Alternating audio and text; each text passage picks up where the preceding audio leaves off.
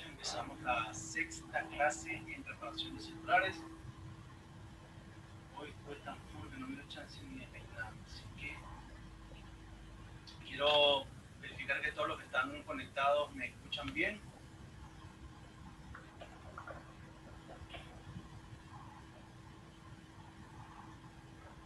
Sí, se escucha.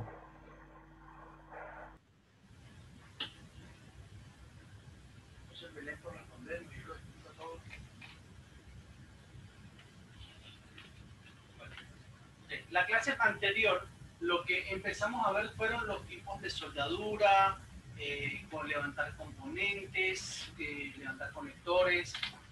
Eh, básicamente observamos que todas, las, que todas las técnicas fueron muy similares a las que le enseñé desde cuando empezamos esta semana en, la clase. ¿no?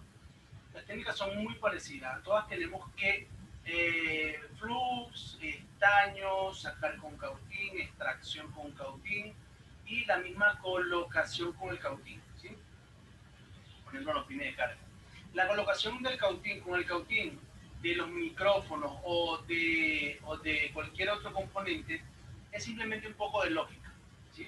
Si nosotros sacamos una pieza extrayéndola con estaño y cautín para evitar darle calor a la placa, nosotros sabemos que podemos darle el mismo calor a la placa sin tocar el componente. Es decir, yo quiero sacar, vamos a suponer, yo quiero sacar este botón que está acá. es un botón de power, un botón de, encendido, de volumen, lo que como lo quieran llamar. Si yo quiero sacar ese botón, yo voy a extraer primeramente el que, el que necesito sacar, el que necesito reemplazar, lo voy a sacar de ahí con el cautín, con las medidas que nosotros eh, tomamos, ¿no? Luego voy a colocar el mismo y lo que único que voy a hacer es no lo voy a hacer ahorita porque es un repaso, pero para también claro Si yo voy a, colocar este micrófono, este micrófono o este componente, o, lo, lo que quieran ver, yo simplemente voy a darle calor en algún área lejana a él. Este. Es decir, que si yo aquí agarro una pelota de estaño y pego mi cautín, esto con el, momento, con el tiempo, con los segundos que pasen, estos, si ya yo lo prestañé con un estaño de baja fundición, cambié la aleación y hice todo lo que vimos en el curso, y en el momento que yo le dé calor aquí la placa, dijimos que la placa lo que hace es transferir el calor a través de ella. Lógicamente, el área que tiene más calor es la que, la, la que primeramente va a empezar a probar los componentes. Es decir, que si yo agarro Si yo agarro y le doy calor a esta área o a un área lo más cerca que puedo del pin con flux y con una pelota de estaño, como vimos, esta área va a empezar a calentar y va a hervir. Y yo simplemente voy a agarrar con mi pincel y voy a colocar el componente ahí. Así de sencillo. Parece absurdo, parece mentira, pero ya lo hice y yo sé que lo van a hacer ustedes también. Con el cautín a 300, 400 grados, ahí sí tengo que usar mi lógica. Lógicamente, si yo le voy a dar calor más para acá, le voy a subir un poco más el, la tensión a mi cautín para que me dé una mayor temperatura y yo colocando mi cautín un poco lejos de él, esa área, como tiene un estaño más, de más baja condición va a fundir en unos segundos más tarde y voy a colocar mi componente. A lo que coloco el componente y lo dejo ahí, entonces eh, ya puedo ver soldado mi eh, micrófono o mi botón o mi otro componente que esté pegando en ese momento. Eso es para no usar pistolas, Ya después que nosotros agarremos cierta cancha, cierta, cierta velocidad, ya vamos a usar lo menos que querramos el cautín. Pero eso no quiere decir que cuando tengamos más cancha y que veamos las cosas, hagamos cosas más copadas y todo eso, no vamos a cometer errores, ¿Sí? Recuerden que la confianza, muchas veces, la mayoría del tiempo, la confianza es la que nos lleva a cometer esos errores que tenemos que tener siempre más cuidado entre más confianza tengamos. Una cosa es la confianza y la otra es el exceso de confianza.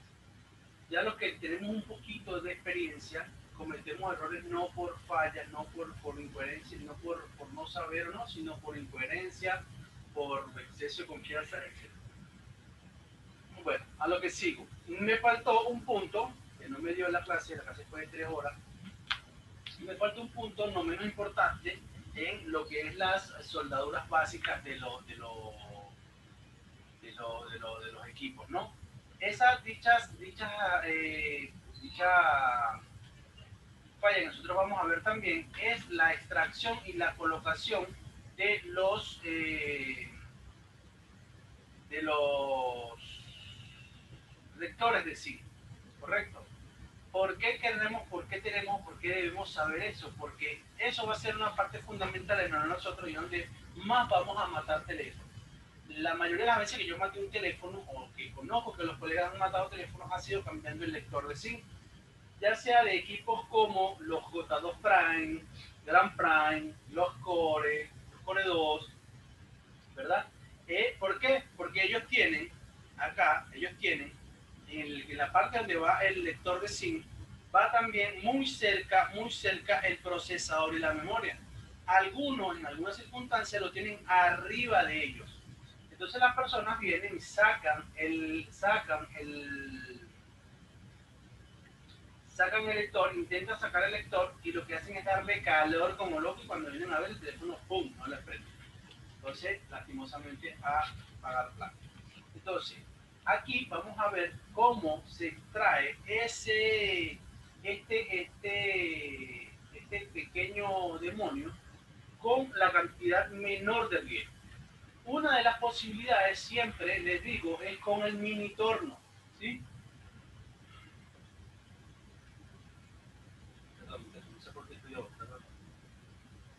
Es con el mini torno. ¿Qué vamos a hacer los que tienen mini torno? No? ¿Qué vamos a hacer con el mini entorno? Vamos a cortar la capa superficial, ¿sí?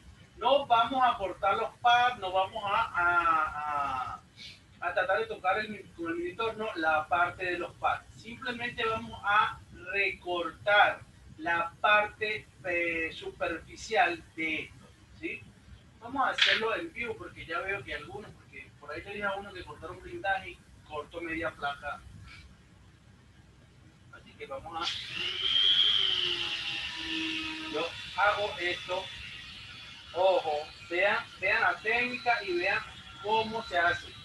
Yo lo que hago es tocar esta parte del borde. Voy a cortar el borde.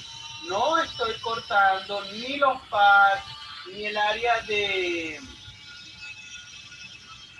ni los pads ni el área de la placa, nada. Yo simplemente estoy cortando los bordes.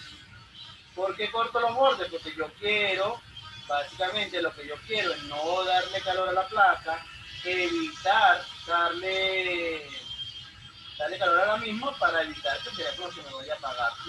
Esa parte de la técnica la podemos usar nosotros en todos los blindajes. Cuando yo hablo de todos los blindajes es que voy a hacer lo mismo por ejemplo, si yo quiero sacar, vamos a para otro rapidito.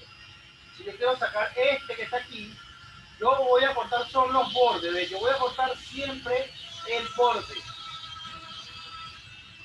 porque voy a cortar el borde? Ya se van a dar cuenta por qué.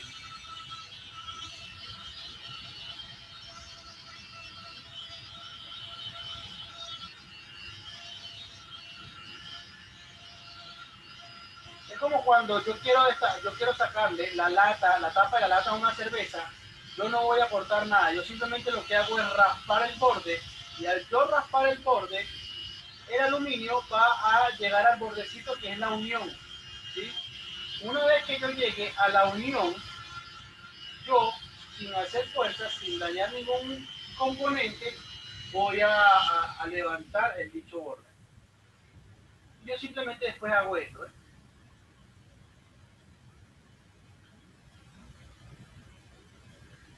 acá lo puedo cortar de esta manera o lo puedo cortar con un bisturí.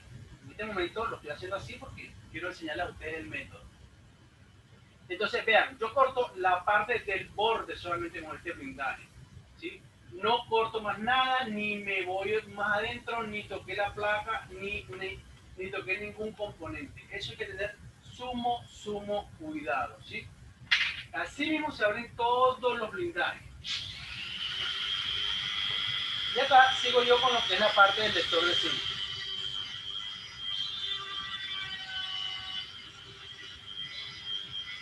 Una vez que ya yo siento que llego lo más cercano al plástico, yo voy por el otro lado.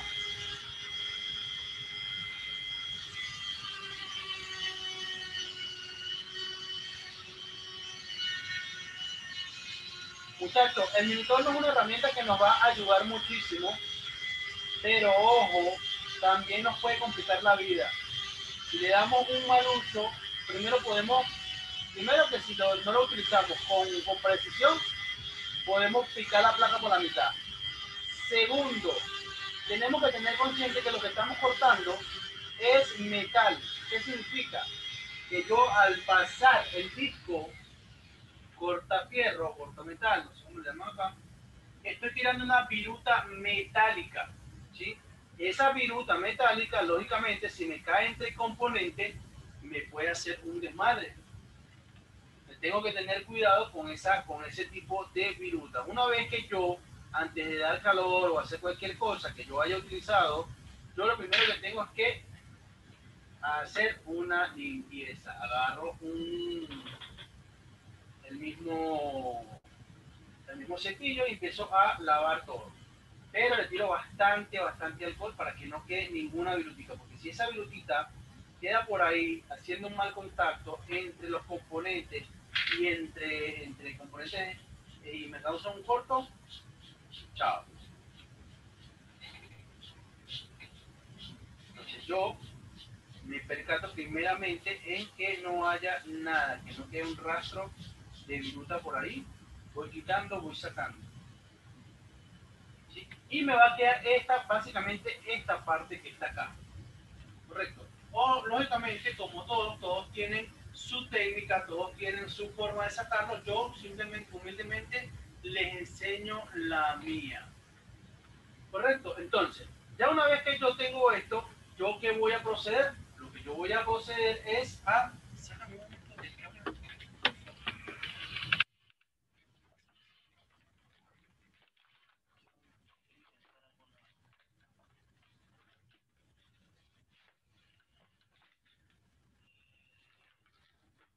পেয়েছে এরকম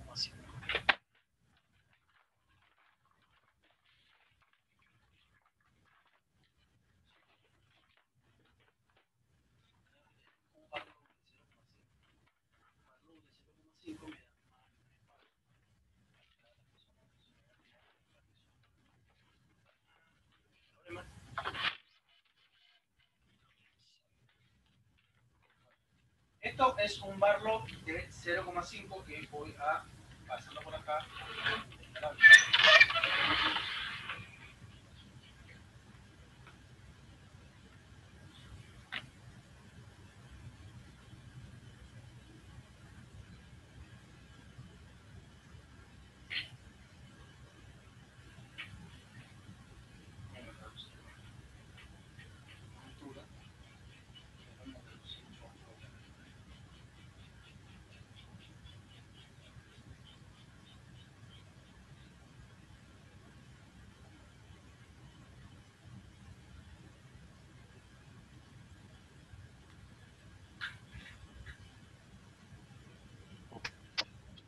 Se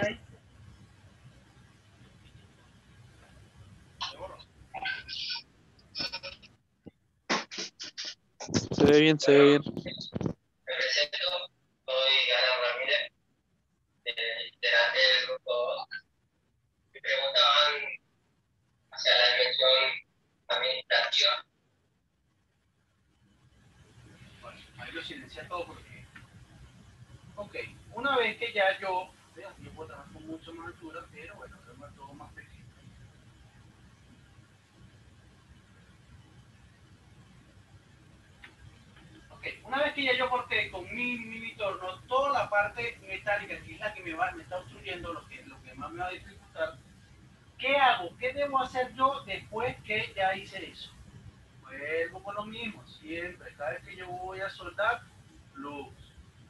yo voy a dar calor?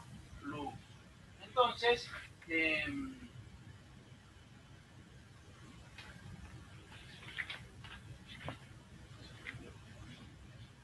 al momento que yo voy a dar, entonces, plus. ¿Qué voy a hacer yo en este momento? ¿Qué es lo que yo debo hacer? Bueno, lo ideal y lo que yo más necesito es darle la menor cantidad de calor posible, ¿no? Fue lo que, fue lo que dije bueno, entonces yo agarro un estaño de mayor, de menor este, condición, y empiezo a regarlo a través de toda la, todo lo que es los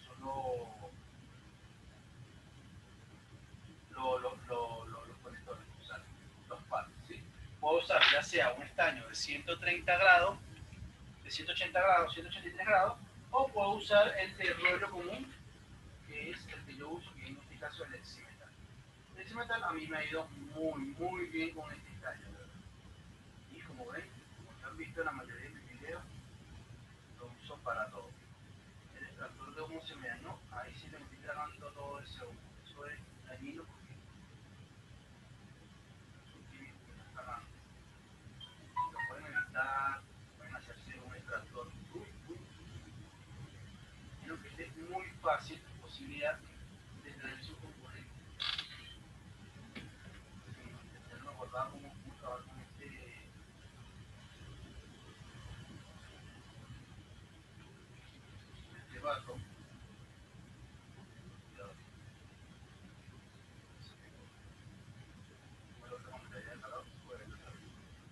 Una vez que ya yo eh, corro bastante bien, bastante bien el estaño,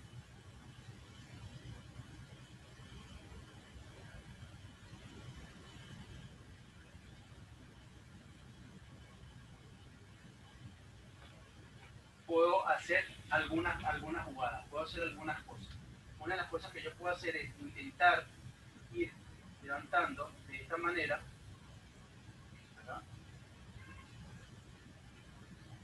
Ir jugando como hicimos con el, con el, pin de carga. Pero esta es la manera más lenta. Yo básicamente, yo lo que me voy es a lo, a lo, a lo, a lo, a lo, a lo voy es dañando sin hacer mucha fuerza, simplemente voy pasando y voy es separando el, Una técnica de esta tiene que tener cuidado porque si la hacen bruscamente pueden romper el, pueden romper lo que son los conectores o puede pasarse del cautín y pasar para el otro extremo. Si lo haces bruscamente puedes arrancar. Esta es una de las formas. Esta es una de las formas más segura, más segura en cuanto a calor, pero es un poco más lenta, ¿sí?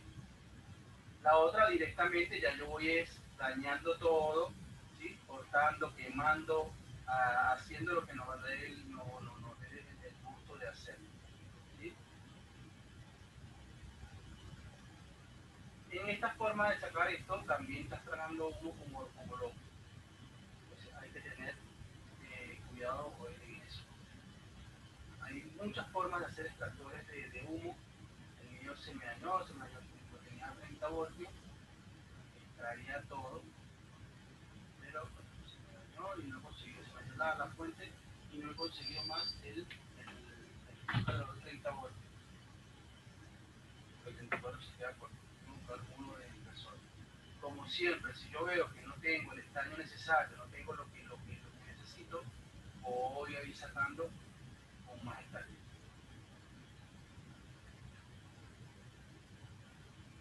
algunos dirán, algunos que ya tienen experiencia, la lo mejor pensarán, bueno, sí, es una técnica medio ortodoxa, una técnica medio, medio digamos, lenta, pero, muchachos, a lo que están aprendiendo, estas son las técnicas que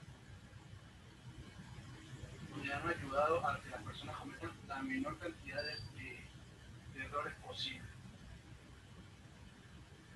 Creo que para eso estamos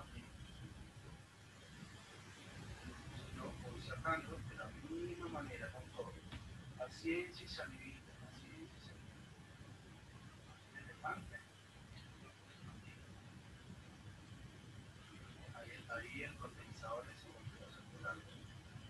la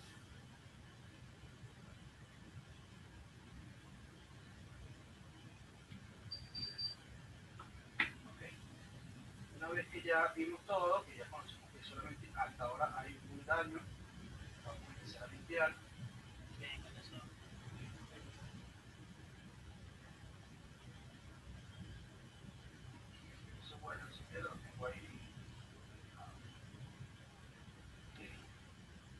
de esta manera ya podemos darnos cuenta que eh, cambiar un lector de SIM ya no es tan difícil, ya no es tan, tan, tan tedioso.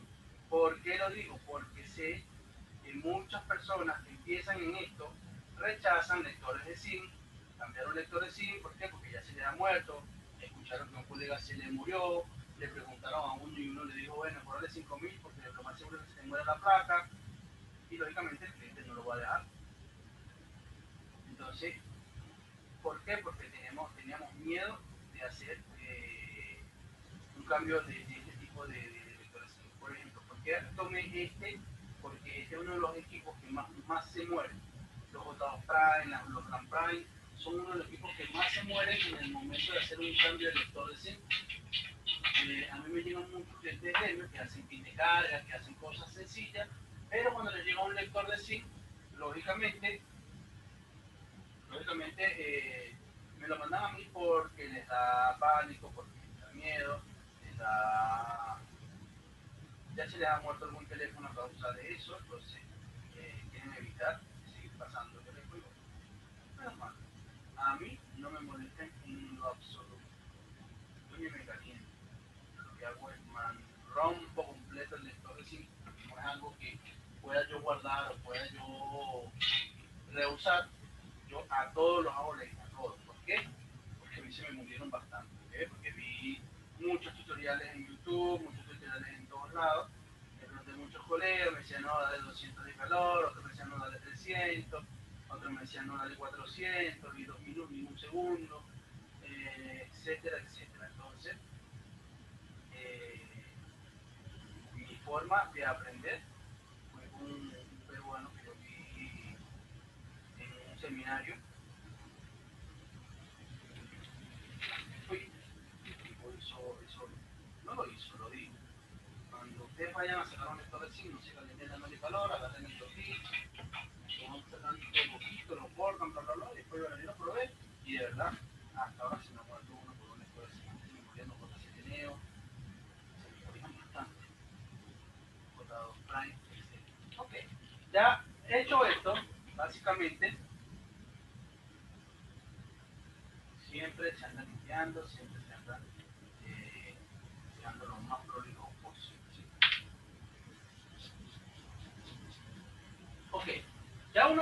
nosotros ya pudimos eh, retirar el lector de SIM, ahora viene lo que es la colocación. Siempre, siempre va a haber una posibilidad de que de igual manera colocándolo, bueno, pues bueno, le, a Dios y bueno, ya lo pude colocar, ya lo pude sacar. Ahora viene la colocación. Entonces vienen y prueban, porque así, era, así hacía yo. Yo venía, lo sacaba y lo probaba de la Dios de que no se nos fuera a morir. Lo agarraba y lo sacaba y lo prendía. Uf, prendió, soy un capo. ¿Sí? Bueno, tenía de todo canchero a poner el, a poner el, el, mismo y cuando después que lo ponía, el teléfono no prendía más. Aquí vamos a hacer la extracción. Yo siempre, yo soy muy amante el reciclado, no porque sea ratón, no porque yo tengo mi, yo tengo mi bastante compra de cada, de cada cosa, ¿no? Pero si tenemos plata donante, el sacar un componente, el saberlo sacar, sacarlo bien, no es cuestión de ser ratón, es cuestión de que agarro más habilidad, agarro más cariño o agarro más eh, precisión a la hora de dar calor, a la hora de tocar la pinza. Entonces, yo les recomiendo que utilicen mucho los métodos de reciclaje. Y aparte que nos va a hacer ganar 300, 400 pesos más, ponerle un, un número este, no, lo más importante de todo es que nos va a dar más experiencia, nos va a dar más precisión. Entonces, en ese caso, yo les recomiendo que utilicen mucho el, sistema de reciclaje. Pero lógicamente, para usar un sistema de reciclaje, tienen que comprar placas eh, muertas, placas donantes, teléfonos en, calidad de, abandono, entre otras. Yo uso, por ejemplo, este, este robocito, lo a mi hijo, robocito, viejo, pero aquí lo conocí como tercera mano, o en Venezuela lo conocí como tercera mano, aquí le llaman soporte, no sé qué tipo de soporte le llaman, y yo lo tengo, aún lo uso y todavía me beneficia. Entonces, ¿qué hago yo? Como la placa está muerta, si no está muerta la voy a terminar de matar, yo lo que hago es que pongo 400 grados, 450, 420, le tiro mi flux como siempre, por ambos lados, no, no funciona porque no, como Pero color, pero también de otra cámara. Pues,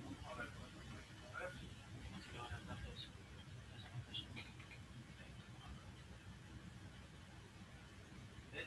Ahí tiene el rosito lo que les estoy hablando, ¿sí? Yo lo utilizo de esta manera. Y le voy a empezar a dar calor. ¿Sí? Ahí bien Yo le doy calor directamente al, el, al le doy calor directamente al procesador o a donde esté. En este caso, el que estamos hablando es que el procesador está detrás de este. Este es un Core, un Core Plus, un Core 2, algo así. Aquí, aquí de los que ya tienen trabajando en esto no se les murió un Core 2, un Core Plus, un Core Prime? Son teléfonos que... que todo el mundo tiene teléfonos esos tirados por ahí, pero a se te muere uno y cuando vas a buscar no consigues nada por ningún lado. Entonces, ¿qué hago yo? El mismo método. Yo de todos lo saco de la misma manera a todos les voy girando el calor, girando el calor, girando el calor, hasta que llega un punto que él solamente sale. Si no, si no sale, si no se mueve ni nada, yo no le hago fuerza. Yo tengo que tener paciencia. Yo, todo tiene que ser la paciencia. ¿Por qué? Porque si de repente este es el único donante que yo tengo y me pongo a hacerle fuerza, me pongo a moverlo para allí para acá o a le puedo romper una de las patas, una de las conexiones internas. Algún daño puedo causar por simplemente no tener unos segundos de más. Básicamente nosotros en este, en este trabajo sabemos, estamos totalmente seguros, que el tiempo para nosotros es dinero. Es dinero y a veces es muy buena plata. Pero a veces por la misma cantidad o el mismo apuro o la misma ganas de correr, de hacer las cosas, omitimos algunos pasos. ¿Y qué pasa? Terminamos perdiendo mucho más tiempo. Por ende, dinero. ¿Por qué? Porque si yo por querer hacer esto rápido, le meto 500 grados de calor y después empiezo a jalarle, jalarle, jalarle, entonces puedo causar más daño. ¿Qué pasa? Si yo no me percato, yo no me doy cuenta de que rompí las patas internamente. Vengo, hago todo el trabajo, hago todo lo que tengo que hacer y cuando voy a colocar el componente lo pego todo, todo perfecto. Y cuando lo voy a probar, sin, eh, sin, sin, sin lector de cinta. Veamos, analicemos un poco acá. Vamos a cambiar la cámara. Analicemos un poco acá cómo, cómo, debería, cómo debería quedarse el componente, cómo debería estar. para no quemar eso ah, eso lo podemos Entonces, como podemos ver, o como vimos, al momento de retirar el otro, es plástico esto aquí abajo es plástico, igual que el de los pines de carga, ¿sí? Es plástico. Esto que vemos, todo lo que cubre la parte o lo que aísla las partes del lector de zinc es plástico. Nosotros vamos a analizar que este lector de zinc, que es el que trae en la parte superior, trae el lector de zinc, perdón, el lector de SD, y en la parte de abajo trae lo que es el lector de zinc. Correcto. Entonces podemos ver que una, una cantidad de patas que están alrededor van de acuerdo a todos los puntos del lector de zinc y la otra cantidad de patas restantes o de partes restantes van a las conexiones de lo que es la tarjeta de serie.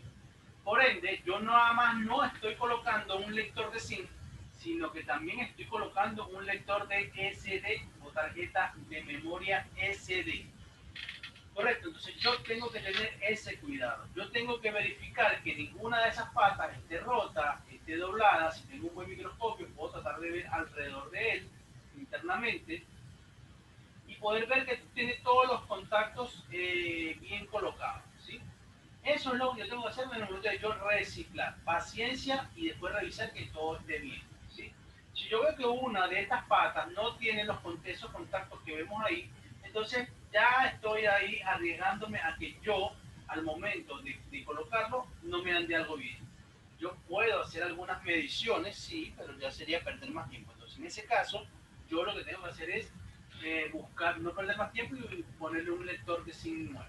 No está mal, pero no también. Entonces, ya una vez que nosotros vimos, analizamos el lector de signo, analizamos cada una de sus pads, tenemos que eh, proceder a la colocación. Muy importante muchachos, muy importante. Cuando yo voy a colocar alguna pieza nueva, ¿qué debo hacer? Preestañar, ¿sí? Cada vez que yo voy a colocar para que mi soldadura sea más prolija, más precisa, yo debo preestañar lo que voy a soldar.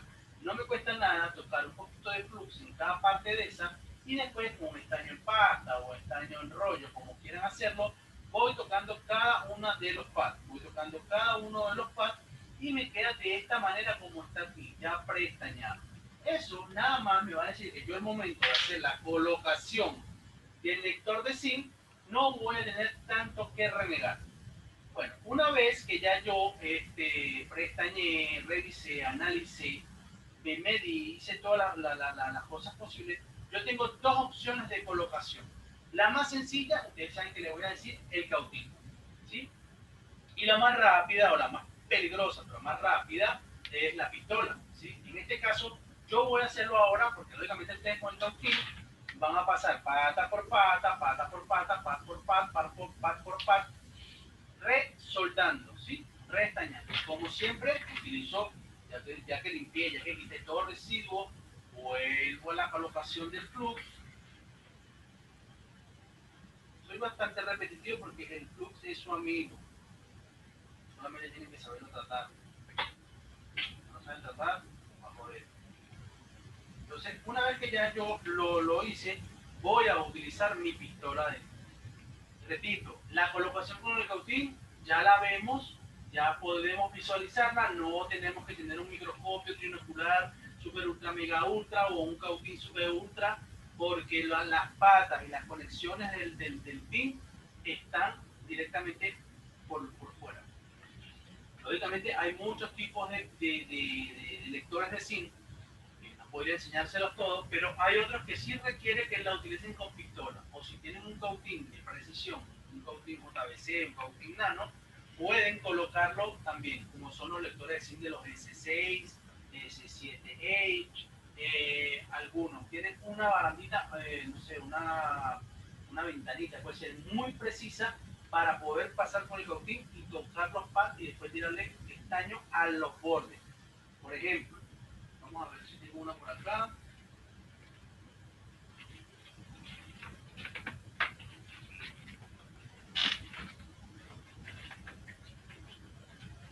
Una precisamente aquí para disfrutar.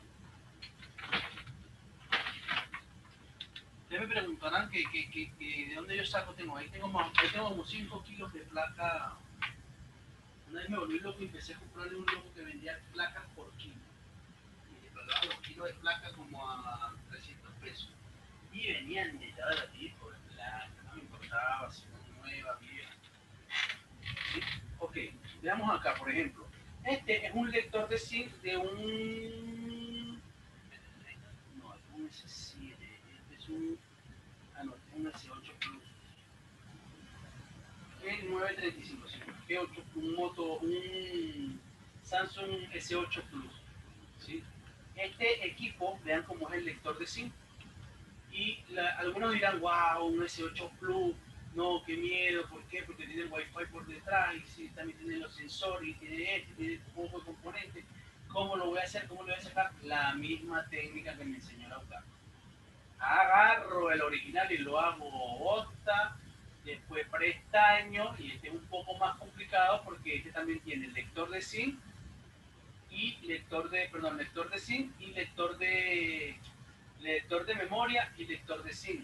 Y alguno de estos te traen dos SIM. Entonces, tiene mucho más contacto. Entonces, este, lógicamente, como ven, en estas aberturas se puede pasar con un cautín muy finito, tocas, tocas, tocas, tocas, tocas, de igual manera acá y de igual manera acá, pero tiene que ser un cautín muy preciso les recomiendo a los que les llegue esto y no tengan tanta, todavía no tengan tanta, tanta eh, cancha, lo que tienen que hacer, hermanos, es la misma técnica para todos.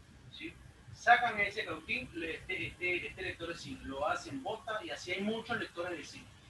Eh, lo hacen bota para que no le den tanto calor a la planta. Luego prestañan, ya sea con estaño de 180 o si quieren algo más sutil algo, pueden usar el 138, que no lo recomiendo, pero no está, tampoco es tan dramático colocarlo, ¿no?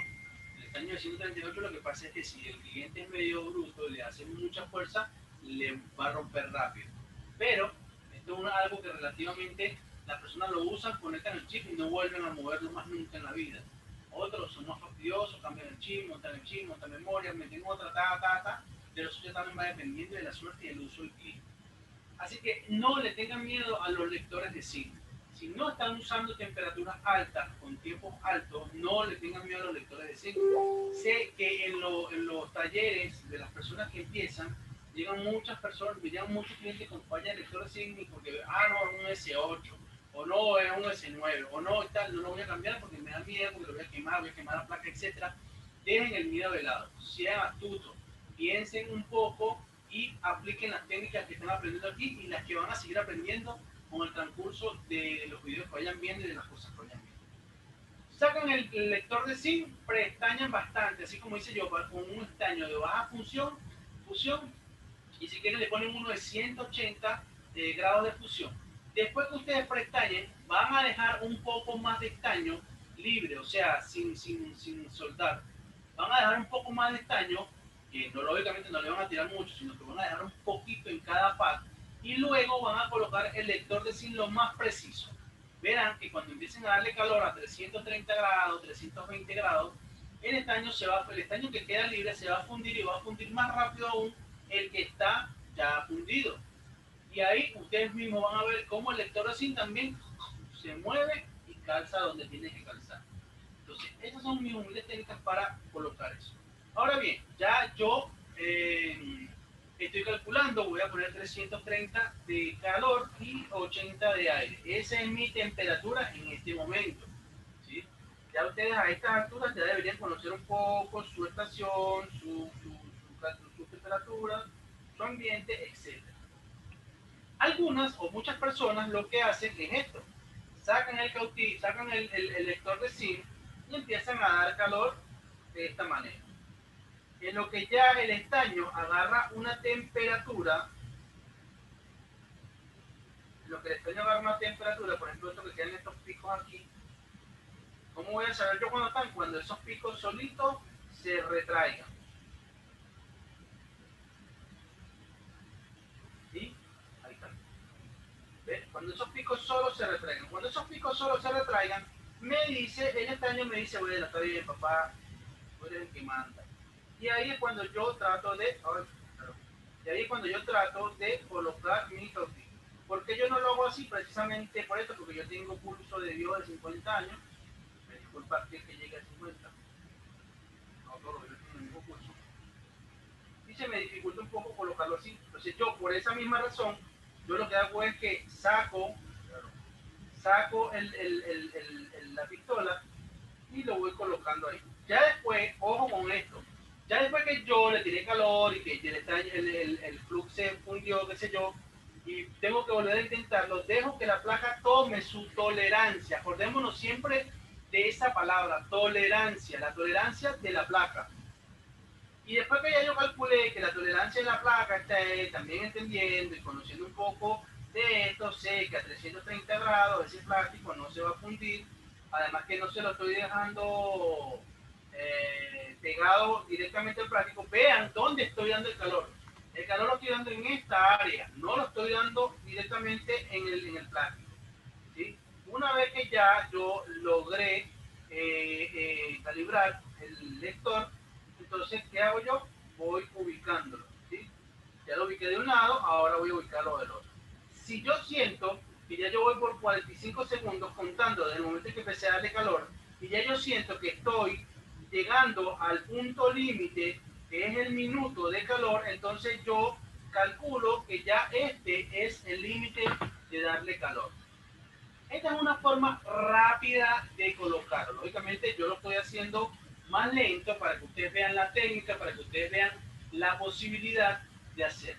Yo en mi mente voy contando, señores, yo todo lo que yo voy tirando calor, yo puedo ir hablando con ustedes y lo vamos a hacer vamos a ser sinceros, no es que yo voy contando uno, dos, tres, no, sino que yo voy dando con ustedes y voy contando, voy viendo, de repente veo el, tiempo que está en, la computadora, en la pantalla, y si no se tan canchero, entonces yo pongo un cronómetro, ¿sí?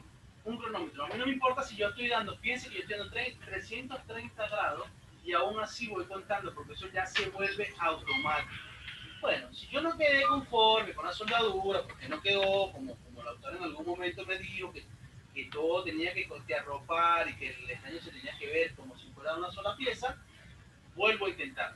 Aquí ya yo puedo elegir si lo quiero seguir haciendo con pistola, si me arriesgo un poco más con la pistola, y yo no lo recomiendo, o si lo hago con el cautín. Bueno, en este caso yo me voy a dejar, para mostrarles el, el, que no es tan difícil voy a hacer con la punta de cautín gruesa.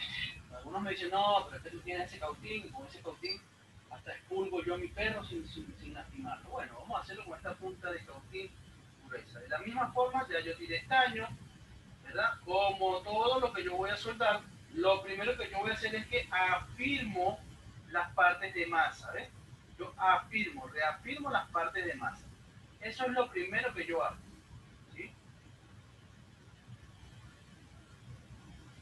afirmo las patas de masa. En este momento mi toquín está en 350 grados. No necesito 500, no necesito nada. Simplemente lo tengo a 350 grados, que es la temperatura que protege mi punta. ¿sí?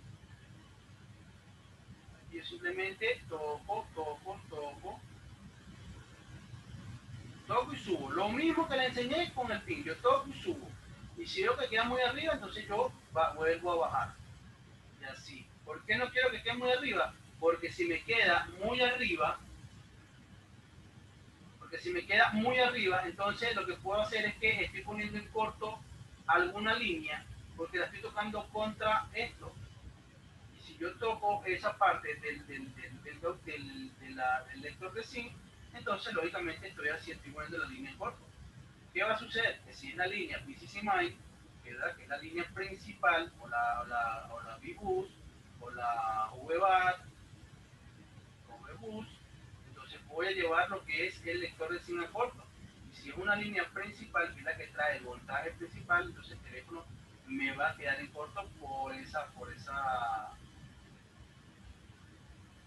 por esa misma, eh, por, esa misma, ese mismo tiempo Una vez que ya yo, aquí les aclaro algo cuando yo, cuando yo dejo los, los, como ustedes lo ven, porque en las clases anteriores yo les había dicho, y yo particularmente cuando el componente es nuevo, el estaño tiene que, ah, el estaño tiene que abrazar, abrazar la pieza, hacer la pieza que sea una sola misma pieza, ¿correcto? Yo cuando suelto la pieza nueva, la, pieza nueva, yo tengo que hacer que el estaño la abrace el estaño se vea como si fuera una sola pieza, ¿correcto? Esa es la mejor soldadura, no hay fisura, no hay ruptura, y si llega a haber algo como eso es por mala práctica. Ok, aquí yo quiero enseñarles algo. ¿Por qué Lautaro no... ¿Por qué Lautaro, esas piezas, eso que tú acabas de soldar, no está abrazando la pieza como tú dices? Porque yo la pre cuando digo yo la pretañé es porque ya yo la saqué de otra placa que ya venía pretañada, que ya tenía estaño, y al yo colocarla ahí, el estaño se funde, se abraza y eso no lo arranca nadie a menos que se en la pista. ¿Correcto? Entonces, vean, vean esto, que yo aquí en la parte de lo que es la pieza negra, de la pieza a tierra, ¿verdad? Yo sí reforcé y estaño hacia arriba. ¿Por qué? Porque todo esto es masa. Eso es lo que le da la firmeza y la seguridad al lector de zinc, esto que están acá. ¿sí? Todo esto es más. Yo me reafirmé aquí, le tiré o, agarré el estaño, traté que el estaño subiera y como vieron anteriormente, antes de colocarlo, le tiré bastante estaño precisamente a esas áreas. ¿Por qué? Porque ellas son las que van a mantener más firme el lector de zinc. Si se rompe esa, automáticamente se rompen las demás. ¿Por qué? Porque esas son las que le dan la fuerza. Y las otras, como vimos, están soldadas, pero no le, no le, no le, no le tiramos tanto estaño, no es necesario. ¿Por qué yo no le tiro tanto estaño a estas patas en, general? Porque aquí hay una delgada línea, ¿verdad? De plástico que separa o que aísla las líneas de lo que es la masa. Si yo tiro bastante estaño y esta línea salta para acá y el estaño me queda pegando aquí, entonces voy a crear un corto en la línea voy a colocar el lector de SIN y el lector de SIN me va a decir que SIN SIN. Ahora bien, algo que a muchos les molesta o les incomoda o todavía no lo saben es no saber la diferencia entre que el lector de SIM esté dañado, que el teléfono tenga un problema de señal o que, eh, que, que diga solo llamadas de emergencia. Aquí este punto es bastante importante. ¿Por qué es bastante importante? Porque yo lo primero que tengo que identificar si es por problemas de señal, si es por problemas de radiofrecuencia, si es por problemas de, del contacto que hace con la carcasa. Acordémonos siempre que el teléfono o las placas tienen las antenas por la parte de abajo del teléfono. ¿sí? Es decir, que estas antenas que vemos aquí o estos contactos que vemos aquí en la mayoría de los teléfonos son el contacto que hacen con la parte de atrás de la carcasa y que la misma funciona como una antena, ¿sí?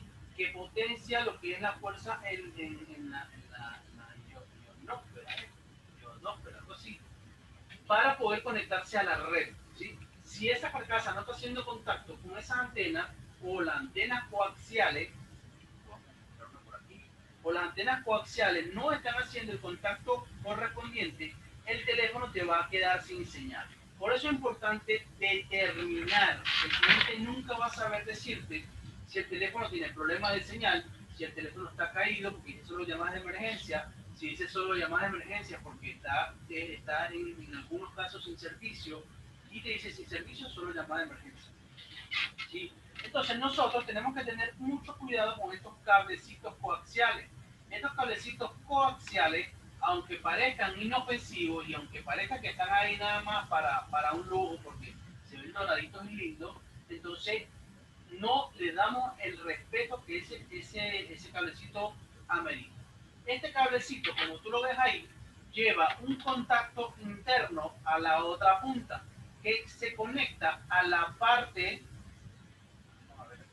que se conecta a la parte de estos conectorcitos. Estos conectores van conectados directamente a una resistencia y en algunos casos van a llevar a una serie de controladores. Estos controladores son los que administran lo que es la parte de la frecuencia de la conexión de la antena con, la, con las antenas eh, que están esparcidas a nivel nacional, a nivel territorial, a nivel de territorio, como lo quieran llamar. Estas antenitas hacen contacto. Lautaro, pero ¿cómo yo identifico esos contactos porque en los J7 Prime tienen esos contactos, pero resulta ser que es el sensor de menú. En, los, en los Grand Prime es el sensor de home. En los, ok, yo voy a identificar que esto es una antena de conexión de radiofrecuencia, porque al tener un conector de acá, vamos a ver en muchos de ellos lo que son eh, resistores o varistores o este tipo de resistencias que son azul con blanco y un con azul y un puntito blanco. Fuera de eso, vamos a ver que la mayoría de ellos encontramos líneas que van directamente a ese contacto. Otra cosa más lógica y más, más, más fácil de ver es ver cuál va a la parte trasera de la carcasa. Creo que eso es lo más lógico, ¿no? Si yo saco un teléfono, desarmo un teléfono y veo la parte de atrás de un teléfono, me voy a dar cuenta de que en dicha parte va a haber unos contactos, algo que hace contacto. Si hay algo que hace contacto con la parte de la, de la, carcasa, la parte de atrás, entonces lógicamente son contactos que va a una antena. Si seguimos estudiando un poco más lo que son las antenas o la conexión de antenas, nos vamos a dar cuenta que dicha carcasa tiene unas líneas internas en la parte de arriba que son como unos flexitos que van conectados directamente a otras partes, otros, cuando el marco de, la, de, la, de las antenas ya yo ahí determino que ese teléfono tiene un problema de señal. ¿Por qué tiene un problema de señal? Primero, porque no estoy poniendo la tapa, la parte de la tapa de atrás. Segundo, porque veo que está desconectado el cable coaxial. ¿Sí? O tercero, porque el cable coaxial está cortado internamente. ¿Cómo se cortan esos cables coaxiales?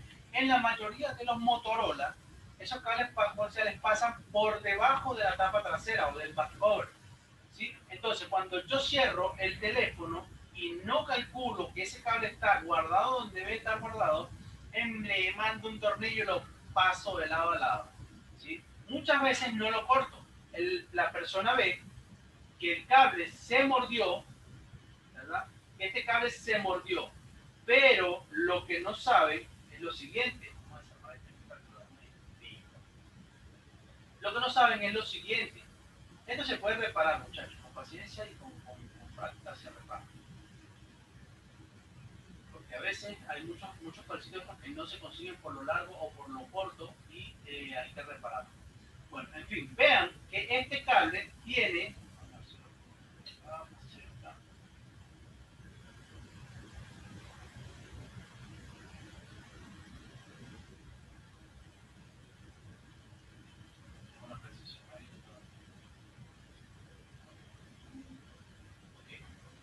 veamos que este cable tiene una línea de cable interna, ¿verdad? Y ven que esto que no sé si se aprecia es transparente, es como una, como una, como una gel, como una goma, no sé, algo transparente. Vean que esto tiene algo transparente aquí, ¿ves? ¿eh? Bueno, esto, esto transparente que tiene aquí, esto lo estoy cortando, esto lo estoy cortando, es algo transparente. Eso es simplemente un aislante que va protegiendo lo que es el cable interno con la tierra o con la masa o con el ground ND de afuera. Cuando yo a este señor lo muerdo, le paso un tornillo y lo muerdo, señores, pónganle atención a eso.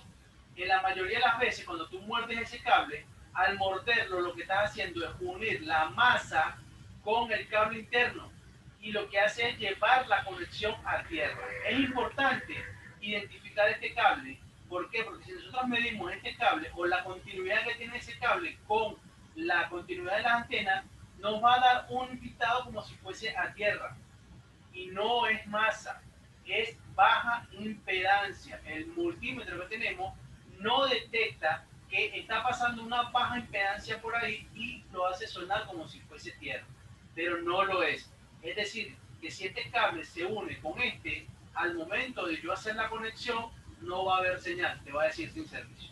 Así que volviendo atrás, ¿cómo identifico yo cuando es caído, dado de baja, cuando es eh, problema sin servicio por falta de señal y cuando no es, y cuando es, perdón, cuando es por lector de sí?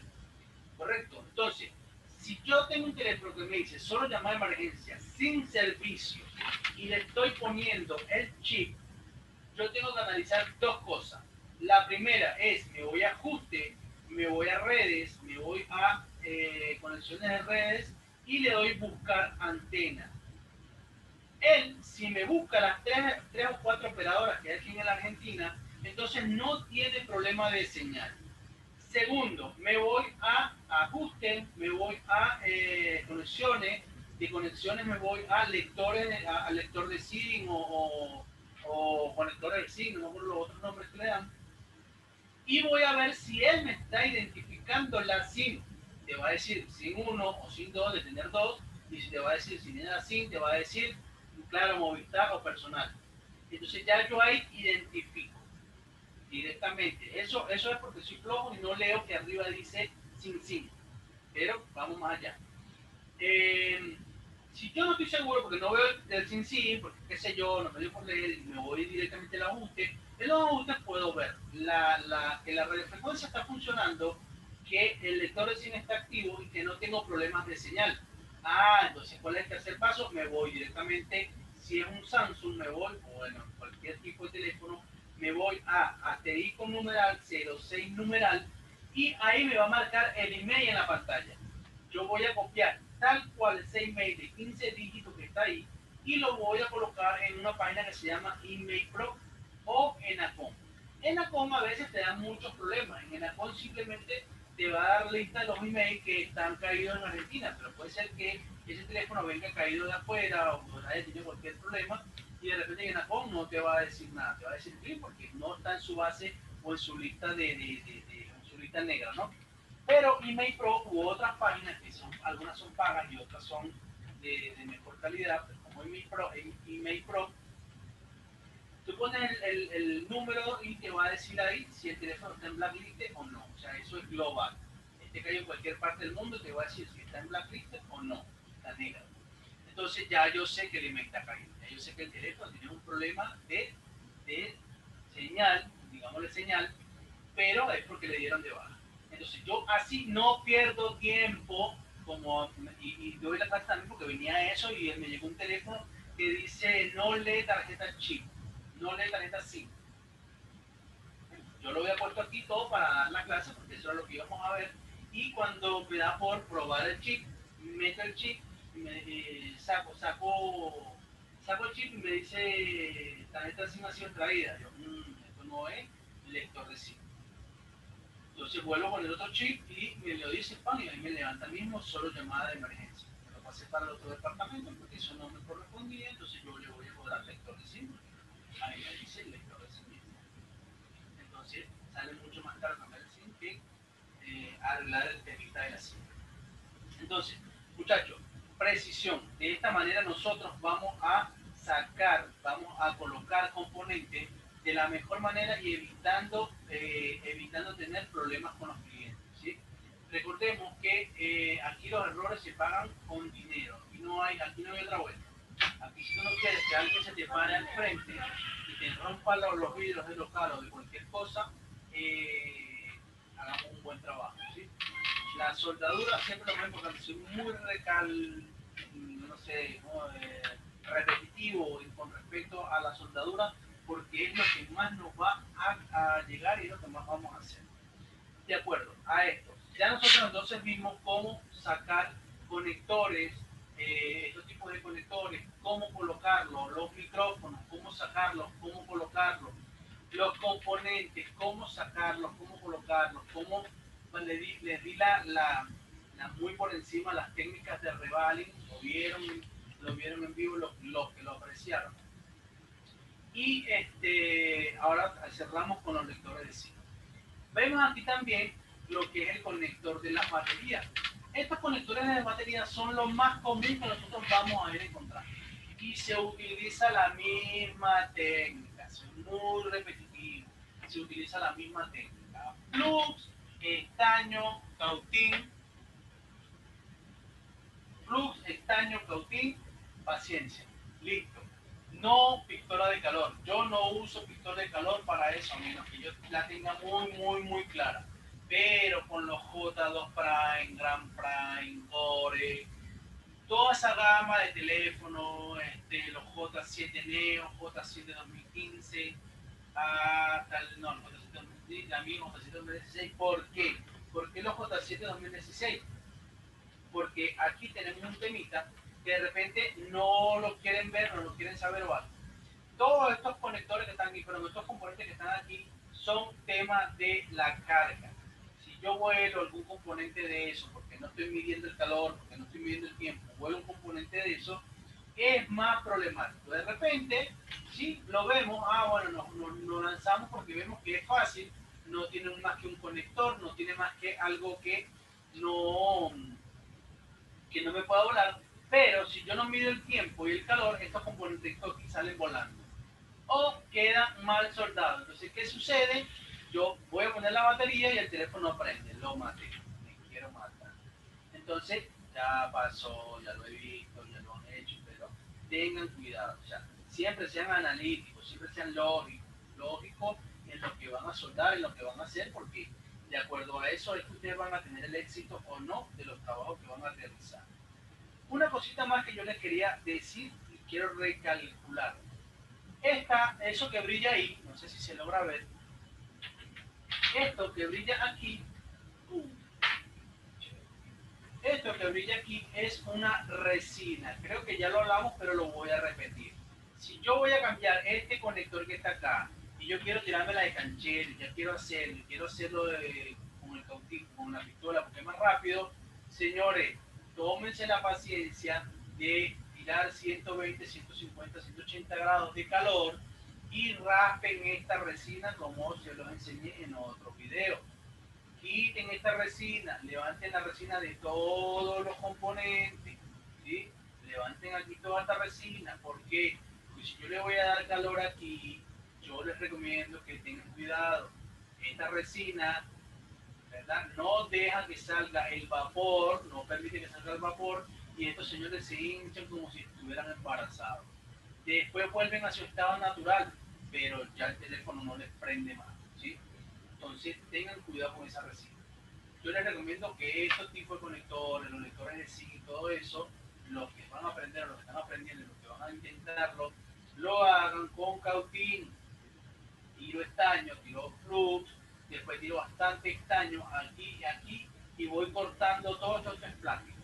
Y este plástico no soporta tanto calor, es decir, que yo agarro mi cautín y empiezo a raspar por acá con mi pistola de carbón cautín. Entonces se hace leña, no me importa nada, los saco, los saco como, como, como botellazo el loco de aquí y el otro también.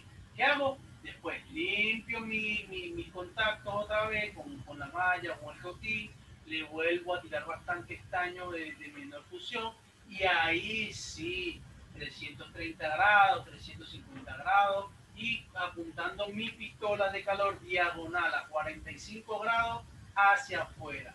Cada vez que yo voy a dar calor en un área donde tengo componente, yo voy a darle calor diagonalmente hacia la parte que tenga más próxima afuera.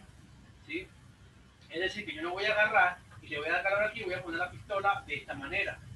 ¿Correcto? ¿Por qué? Porque entonces el calor que entra aquí se va a redistribuir mucho más rápido para este lado y, lógicamente, riesgo. Si yo utilizo mi pistola dirigiendo el aire de esta manera, lo voy dirigiendo hacia afuera con cualquier componente. Si yo voy a sacar este, que es el controlador de carga de este equipo, yo voy a sacar este, yo le voy a tirar aire hacia afuera. Si voy a sacar aquí, porque me voy a meter con la radiofrecuencia o con los, TWRP, saco hacia afuera. Todo lo que yo le voy a dar calor, si voy a dar calor en un pin de carga, yo voy a tirar el aire hacia afuera, que el calor pegue aquí, rebote hacia afuera maneras de proteger.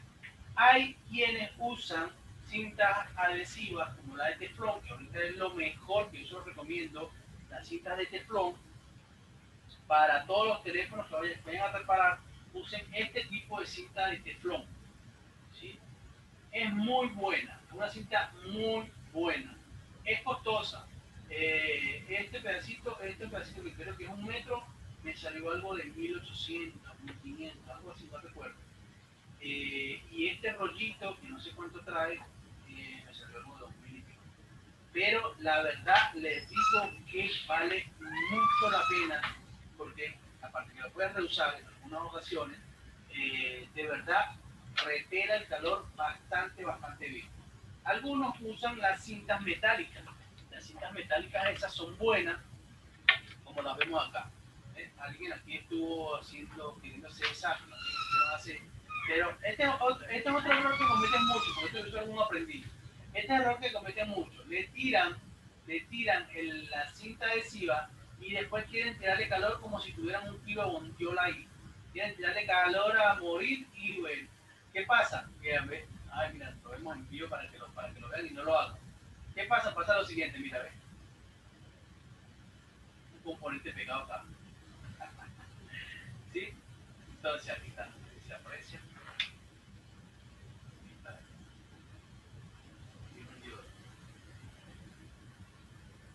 componente pegado acá. Entonces, no crean, no crean que porque le ponen cinta, porque algunos usan, ahorita hay unas monedas de níquel que son muy buenas, las monedas de 5 pesos son muy buenas porque son puro níquel. ¿Qué hace el níquel? Absorbe el calor y lo suelta, absorbe el calor y lo suelta, No usen monedas ni de cobre, ni de bronce, Ni específicamente esta o las de 10 pesos, porque son monedas que más bien guardan el calor, mantienen el calor. Entonces uno le pone una moneda de esta arriba al procesador y resulta ser que lo que está es tapando más calor y dándole más calor al procesador. Usen monedas de níquel, O en su efecto busquen unas platinas de aluminio para cubrir, eh, para cubrir. La platina de aluminio lógicamente absorbe mucho calor, pero lo saca rápido. Entonces, las cintas también tienen que saberla usar no es porque, ah, no, mira, yo le puse cinta, le puse dos metros de cinta placa, dejé nada más el área te voy a soltar y le voy a quitar 500 grados porque no le va a pasar nada. Se están riendo, pero lo he escuchado y lo he visto así que quiero, pues, Entonces no lo hagan. Las cintas son para proteger un poco, ¿sí? Para reducir un poco el calor, para reducir los espacios donde pegue el aire no para tirarle todo el calor del mundo y que no, pero porque el auto lo maté, se me murió el teléfono, pero ¿por qué se me murió si yo lo protegí? ¿Cuánto calor? No, yo lo tengo a 500 de, calor y 7 de aire. Entonces, eviten esas cosas, y eviten esos daños por no usar la lógica, ¿correcto? Bueno, entonces, todos los demás componentes que nosotros vamos a ver, muchachos, todos los componentes que nosotros vamos a encontrar en la placa,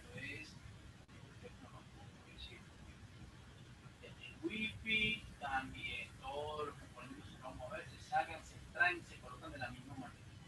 Lógicamente, voy a hablar más del en la continuación para ya entender y entrar un poco más en lo que es la microelectrónica. Nosotros, básicamente, lo que aprendemos todo es a cambiar un pin de carga, cambiar un micrófono. Nos dicen que, que tenemos un problema en controlador, boom Ahí ya, cagamos. No seguimos, no vamos adelante muy fácil sacar un pin de carga, porque es muy fácil sacar un, micrófono, pero es igual de fácil sacar y montar un controlador, Lo único que tenemos que tener es más cuidado, ser más preciso y tener más concentración en lo que estamos haciendo. Hay varios tipos de controladores. Eh, todos los controladores no son iguales, no se forman de la misma manera, no, no, se, no se componen de la misma estructura ¿sí? Ah, hay un video por ahí de un colega que explica bien la diferencia entre los controladores BGA, los SW y no sé qué cosa, eh, los transistores que son muy comunes, etc. ¿sí? Tenemos que aprender eso. Yo, no, lo he aprendido, así que, pero no digo que no lo aprendan. ¿Por qué? Porque es necesario. Por ejemplo, ahorita vamos a sacar este controlador que está aquí.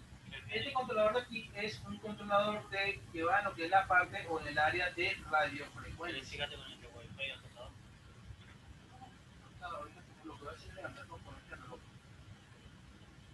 Como, como con todo, yo levanto el componente tirándole calor hacia afuera, hacia afuera y manteniendo la vista en el mismo. Yo, ¿qué uso? El método de gravedad. ¿Qué significa el método de gravedad? Tengo que tener una buena pinza y levanto el componente. Lo agarro y lo levanto como ven. ¿Para qué hago eso? Voy redistribuyendo todo el calor en el componente porque es un poquito grande. Y para que el componente tenga toda la área de calor correcta, yo le doy. ¿Qué va a suceder? Yo le estoy dando 385 eh, grados de calor con 65 de aire yo lo que hago es que eh, espero que el componente tenga su tiempo. El calor y el estaño tengan su tiempo.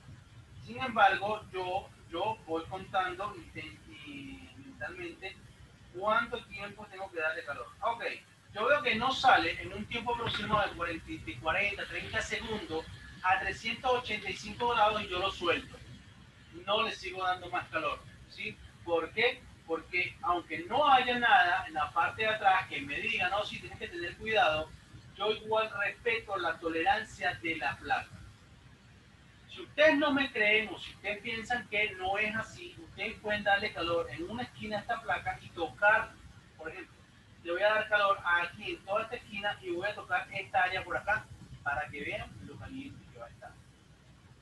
una vez que ya yo, y esto aplica para todos, como lo hablamos en la clase de temperatura, una vez que ya yo le di calor, me di cuenta que no salió un tiempo que yo esperaba, entonces yo le voy a meter un poco más de presión, pero menos tiempo. ¿Qué hago yo? Bueno, de 385 lo voy, a, lo voy a subir a 395 y le voy a dar el mismo aire. Vuelvo a tirar flux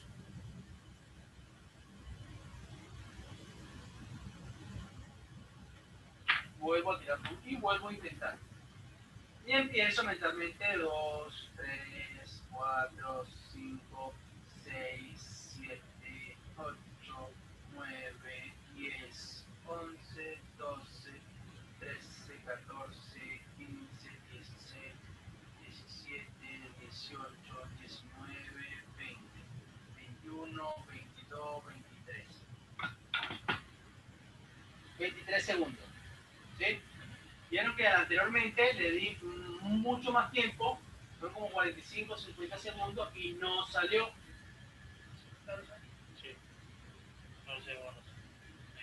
Y no salió, ¿sí? Entonces yo le subo la temperatura, mientras yo era con usted iba calculando que más o menos tomaron la temperatura, no dejo que se enfríe la placa, dejo que tome su tolerancia, son dos cosas distintas. No, no, claro, pero yo, ¿qué estás haciendo, no, tengo cinco minutos porque voy a estar acá, la placa se enfría. No, yo lo que digo es que tienen que tomar la, la temperatura, dejar que la placa tome su, este, nuevamente su tolerancia. Su tolerancia simplemente es que... Eh, su tolerancia simplemente es que ella vuelve otra vez a un estado casi normal, no lo que se enfríe porque si no, el precalentamiento que, que, ya debe tener no lo voy a cumplir. Recordemos que dijimos que la placa debe tener un precalentamiento. Muchas veces empezamos con una temperatura más baja y vamos subiendo a medida tiempo. ¿Para qué? Para que la placa tenga una tolerancia y sea cada vez menos. Aquí, como podemos ver, este componente es muy diferente a lo que vimos en, otro, en el otro video, ¿correcto? Es un componente que no es VGA, que tiene nada más contactos por los lados y en el medio. Básicamente, básicamente siempre esos contactos que tienen en el medio son la masa del componente. ¿sí? Y cada uno de los que está alrededor, no es que todos sean líneas, no es que todos sean líneas positivas, es que todos son, todos esos que están ahí, son contactos que vamos a ir, este, vamos a ir analizando y viendo. ¿Por qué? porque es un contacto que tenemos que tener una secuencia de medición.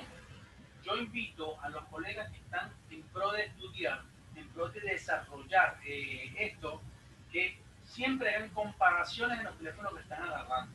Tómense un tiempo para agarrar una placa y si van a sacar este componente, mídanlo. ¿sí? Hagan una especie de croquis, una especie... Ahí yo en el grupo hacer una información pasé una información para que la analizaran, para que la vieran, no para que la estudiaran, porque no van a entender mucho, pero para que la vieran, ¿sí? ¿Cómo se hacen las mediciones? ¿Cómo están esas mediciones? ¿Por qué? Porque hay una impedancia, porque tiene un valor que se llama una impedancia o, o referencia o señales de referencia. ¿Por qué? Porque hay personas que se han puesto a estudiar y comparten esos archivos con los colegas, con las demás personas. ¿Cómo lo hago yo? Bueno, yo tengo esta placa y si yo tengo otra, yo la estudiar. Si no tengo otra, bueno, también lo voy a estudiar. ¿Qué voy a hacer? Pongo mi punta, eh, mi punta roja, mi punta positiva en cualquier área de tierra. Pongo mi multímetro en función de, diodo y con mi punta negra voy tocando cada uno de estos pares. Aquí me va a dar un valor, aquí me va a dar un valor, aquí me va a dar un valor. Y en mi cuaderno, el cuaderno que yo estoy creando, el cuaderno que yo estoy empezando a crear, que va a ser como mi diario personal de técnico, voy escribiendo cada valor que me da ese. No importa si está bueno o está malo. La intención es la que cuenta. Saqué este componente, mido, me da 0800, 0500, 0700, 0600, 0500, 0400, 0300, 0200. Todos esos valores yo los voy anotando en el croquis que yo hice de, este, de esta área si me quiero tirar más de caso si quiero tirarme una más de quiero saber, bueno, yo voy a ver que aquí en esto, en estos componentes hay una serie de líneas que sale a los componentes que está alrededor. Yo los he dibujado, yo los dibujo y los sigo. Bueno, este componente va a esta línea. Ah, listo, bueno, está bien. Se toma su tiempo, se toma su, su, su dedicación, pero señores, les apuesto que cuando les llegue el mismo teléfono, el teléfono, el mismo teléfono por esa falla, ustedes van a ser los campeones que van a sacar esa falla. Porque hay que estudiarlo, porque hay que medirlo, porque hay que verlo, analizarlo. Bueno, a lo que vamos. Entonces, estos componentes que hago, lo mismo, exactamente lo mismo. Aquí agarro mi estaño y empiezo a barrer toda esta línea de estaño. ¿Qué estoy haciendo ahí? Cambiando la aleación del estaño. ¿Sí? Básicamente hay quienes lo primero que hacen es que le pasan una malla, como la que vimos en la otra clase, y empiezan a primeramente sacar todo ese estaño. Es mucho más rápido. Yo agarro, pan, le pongo la malla, le pongo calor, plus, saco ese estaño que está ahí. Listo, agarro mi estaño y lo empiezo a tirar nuevo. Listo, ya tengo todo preestañado, ya tengo todo listo. Este señor yo tengo que conseguir la forma, yo tengo dos maneras de hacerlo. Una, voy a poner pad por pad, ¿sí? pad por pad, una línea de estaño, de bolas de estaño, o directamente pongo el estaño en la parte de aquí. O si yo soy más canchero y conseguir el stencil para este tipo de IC, para este tipo, le pongo su stencil y hago el revaling, hago, el la colocación de los bars nuevos o de esas pistas nuevas. ¿Qué voy a hacer yo? Ya una vez que ya este, que este componente está bien prestañado, o si no, la otra opción es que ya yo después que yo prestañé, ¿verdad? Yo tiro una cantidad de estaño en pasta, pero para eso sí tengo que pasar la malla completa. Paso la malla por esta área, limpio, los pads me van a quedar de la siguiente manera.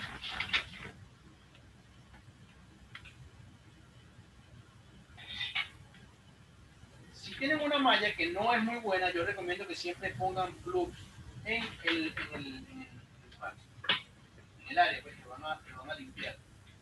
Si la malla, si tienen una malla buena, entonces no es necesario, por ende, eh, la malla tiene su propio estadio.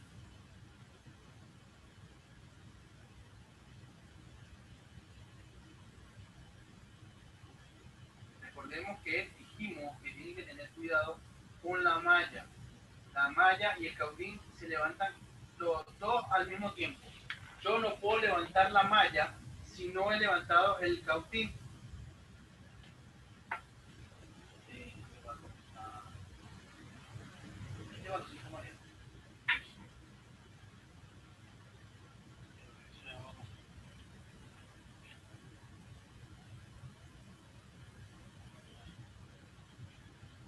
La malla yo sé que varios se van a quemar con la malla. La forma correcta de agarrar la malla es esta. Eh, agarro mi pinza, agarro la malla y, el rollo lo tengo aquí metido Hay otras personas que cortan la malla a el nivel que necesitan nada más usar. Mira que yo pongo la malla, espero unos segunditos que el calor de la malla, el calor del cautín, surja, lo que quiero que suceda y empiezo a pasarla. Si la malla se les espeluca, si la malla empieza a sacarle trozos de alambre, como lo vieron, entonces yo vuelvo a cortar la malla, la pongo lo más eh, precisa posible. Por ejemplo, esta malla es mala. Esta malla es solamente alambre. es una que me quisieron vender como lo máximo de, la las y mira cómo se ve. Entonces, ¿qué hago yo con esta malla? Lo que hago es tirarle ¿Qué pasa cuando las mallas son malas? Pasan este tipo de cosas. Este Se te despeluca y cuando quieres larga o algo termina rompiendo o atrayendo un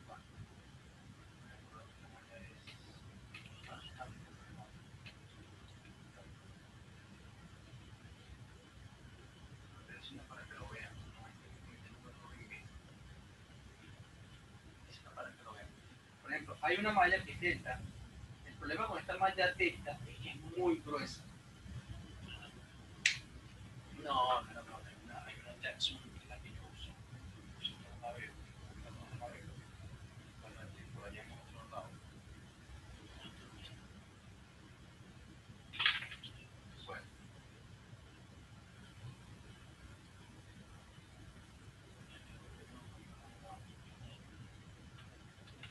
Sí. Aquí yo pongo otra vez fuego. diferencia. una malla barata.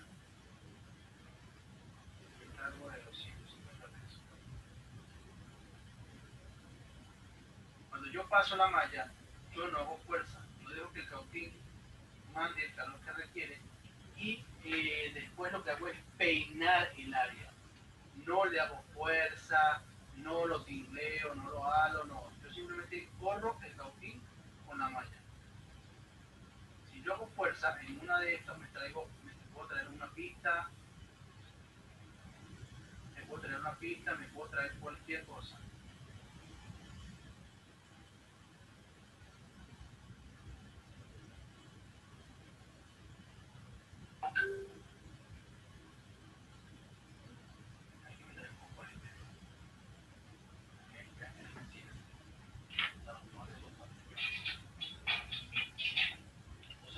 tengo que ver pues, cuál fue ese componente. Ahora tengo que ver cuál fue ese componente que se fue ahí, qué función tiene, pues lógicamente debe ser un filtro. Ahí en esa área de radiofrecuencia, frecuencia lo que más hay es filtro. ¿Por qué un filtro? ¿Cómo funciona un filtro? En radiofrecuencia vamos a encontrar muchos resistores, varistores, condensadores y filtros. ¿Por qué?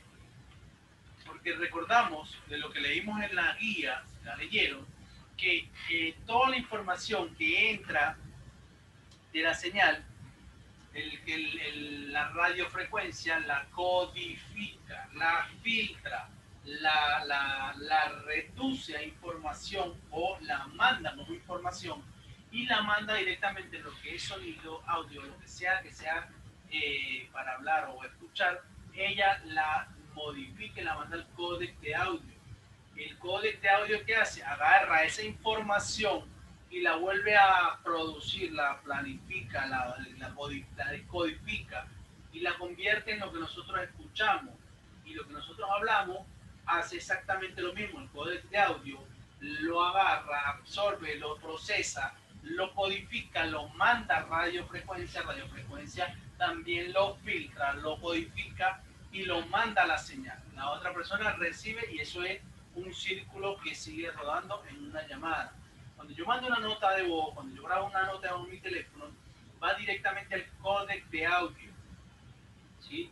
Al pasar por, para poder pasar a través de la memoria, tiene que pasar por todo lo que es radiofrecuencia para que pueda entrar en la memoria como que como una información. Por eso es que nuestros teléfonos Android, cuando los usan Android, se dan cuenta de que su teléfono se pone lento, se llena de todo. ¿Por qué? Porque toda la información de las notas de voz que ahora la mayoría de las personas usan, ¿eh? nota de voz, todas esas notas de voz van directamente a dónde? A la memoria interna. A menos que tengas el teléfono ruteado y tengas el programa que te lleva el WhatsApp y toda la información de WhatsApp a una tarjeta SD.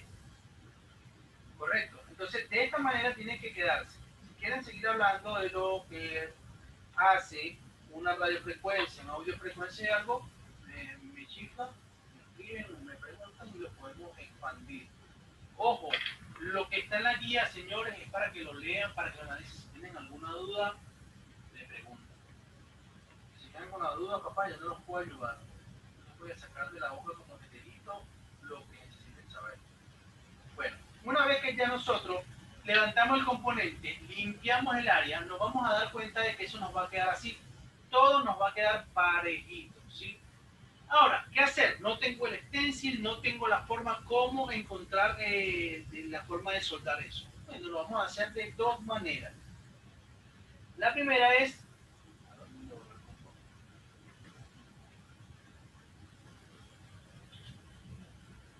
Y se marchó.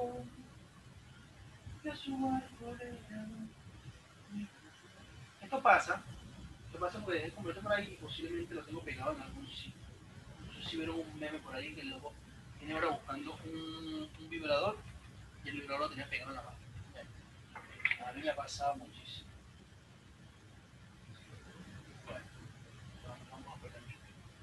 El hecho es que yo, eh, ese componente, yo quiero ver nada más los temas de los ese componente, yo lo que hago es ver, ¿verdad? Tirar un estaño en pasta alrededor de cada uno de los pads, midiendo una cantidad casi lo más precisa que yo pueda. Esa es una de las formas, señores. No estoy diciendo que lo hagan y digan por ahí no, pero es que en el curso que yo lo usaba, los dijo que hagan eso. Es una de las formas, es una, de las formas más, eh, digamos, fáciles que les ofrezco para que ustedes tengan una posibilidad de no yo o no dejar de hacer algo porque no entienden o no pueden hacerlo, ¿sí?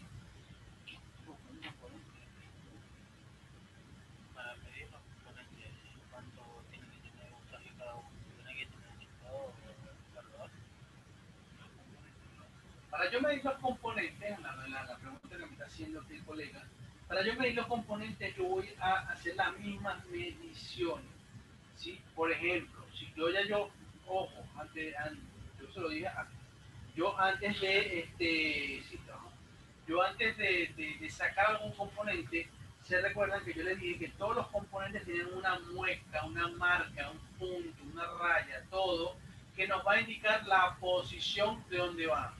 Correcto. Si nosotros colocamos un componente de esta manera y resulta ser que va de la otra, ponemos la placa en corto, ponemos el componente en corto, dañamos el componente y si no tenemos otra,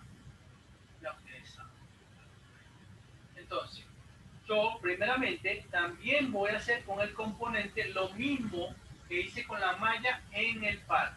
Lógicamente yo tengo que tener un soporte, o tener algo que me mantenga el componente fijo para yo poder quitar ese estaño, para yo poder quitar ese estaño eh, excedente, ¿no? Porque quiero, necesito cambiar la aleación del mismo. Entonces yo le paso cuidadosamente la malla a todo eso y dejo el componente tal cual como dejé la placa.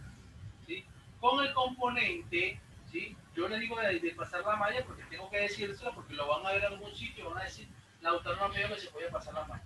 La malla sí se puede pasar, ¿sí? pero es mucho, muy riesgoso. ¿sí? No se acostumbren a pasarle malla a lo a lo IC o a los integrados. ¿Por porque los integrados llevan una cantidad de líneas encima en cada parte y a veces si no sabemos utilizar la cantidad de, de, fuerza que hacemos al momento de pasar la malla, entonces vamos a dañar el ICE. Si no hay otra donde sacarlo, buenas noches, a dormir sin sueño. Entonces, vamos a tratar de no usar la malla, sino usar el estaño. Se usa la misma técnica, Cada vez que le va a pasar el estaño, va a medio rosada, dice limpias, flux y lo rosa. Limpia, flux y lo rosa. Cada vez que lo vaya a hacer, utiliza flux. porque Porque el estaño cuando se seca, se funde el flux, el estaño se vuelve más una masa que una esfera. Y al volverse una masa se pone menos moldeable, moldeable. ¿Correcto? hay que tener cuidado con eso. Eh, una de las cosas que también pueden hacer es agarrar una stencil cualquiera, ya sea de iPhone, que son los más comunes, y hacer una especie de vals. Como estos componentes no tienen tanto pal, no tienen tanta, ni no, tienen, no están muy pegaditos uno de otro, hacemos un stencil, agarramos una stencil que tenga más o menos las medidas aproximadas a las que yo necesito. En este caso podemos ver que tenemos algo parecido aquí, acá, entonces, bueno, si corremos con la suerte y, y medimos el componente, podemos hasta encontrar algo que nos dé la posibilidad de eh, hacer los vals. Entonces, ¿qué hago yo? Yo empiezo a hacer los vals, pongo mi, mi stencil en encima de la, ¿cómo se llama? Encima de la, la servilleta y empiezo yo mismo a hacer mis vals. Aquí tiro, a, aquí tiro estaño en pasta, hago el reval como si lo fuera a hacer, lógicamente no va a quedar, tengo que tener más cuidado porque en lo que yo tiro calor, como él no se va a pegar en ningún lado, él va a salir flotando por ahí. Entonces yo lo que hago es utilizo algo lo más parecido a eso, lo relleno con estaño y le tiro menos calor, menos temperatura y menos aire. Hasta que se hacen las palas. Una vez que se hacen las palas, yo con mucha paciencia y si empiezo a sacar una por una.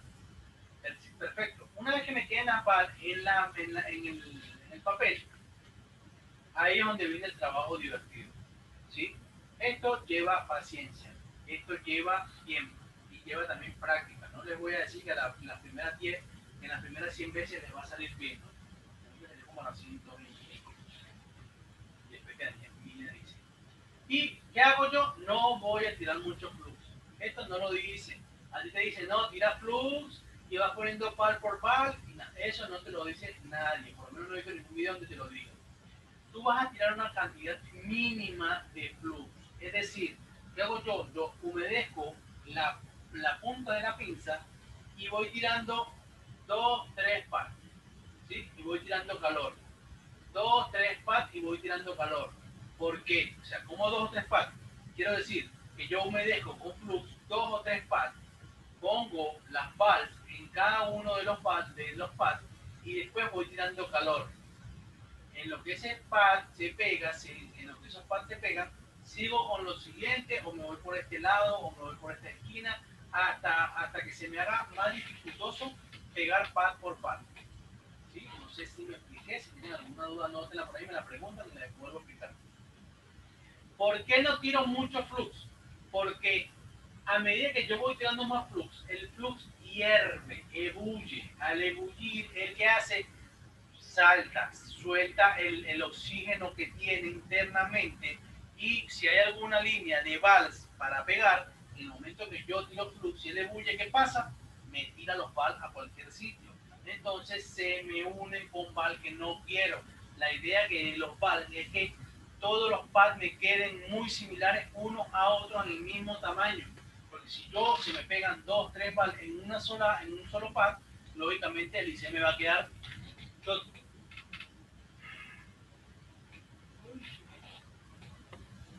Entonces tengo que tratar de poner todos los pals firmes para poder, este, para poder este, que, cuando yo vaya a colocar el IC me quede firme.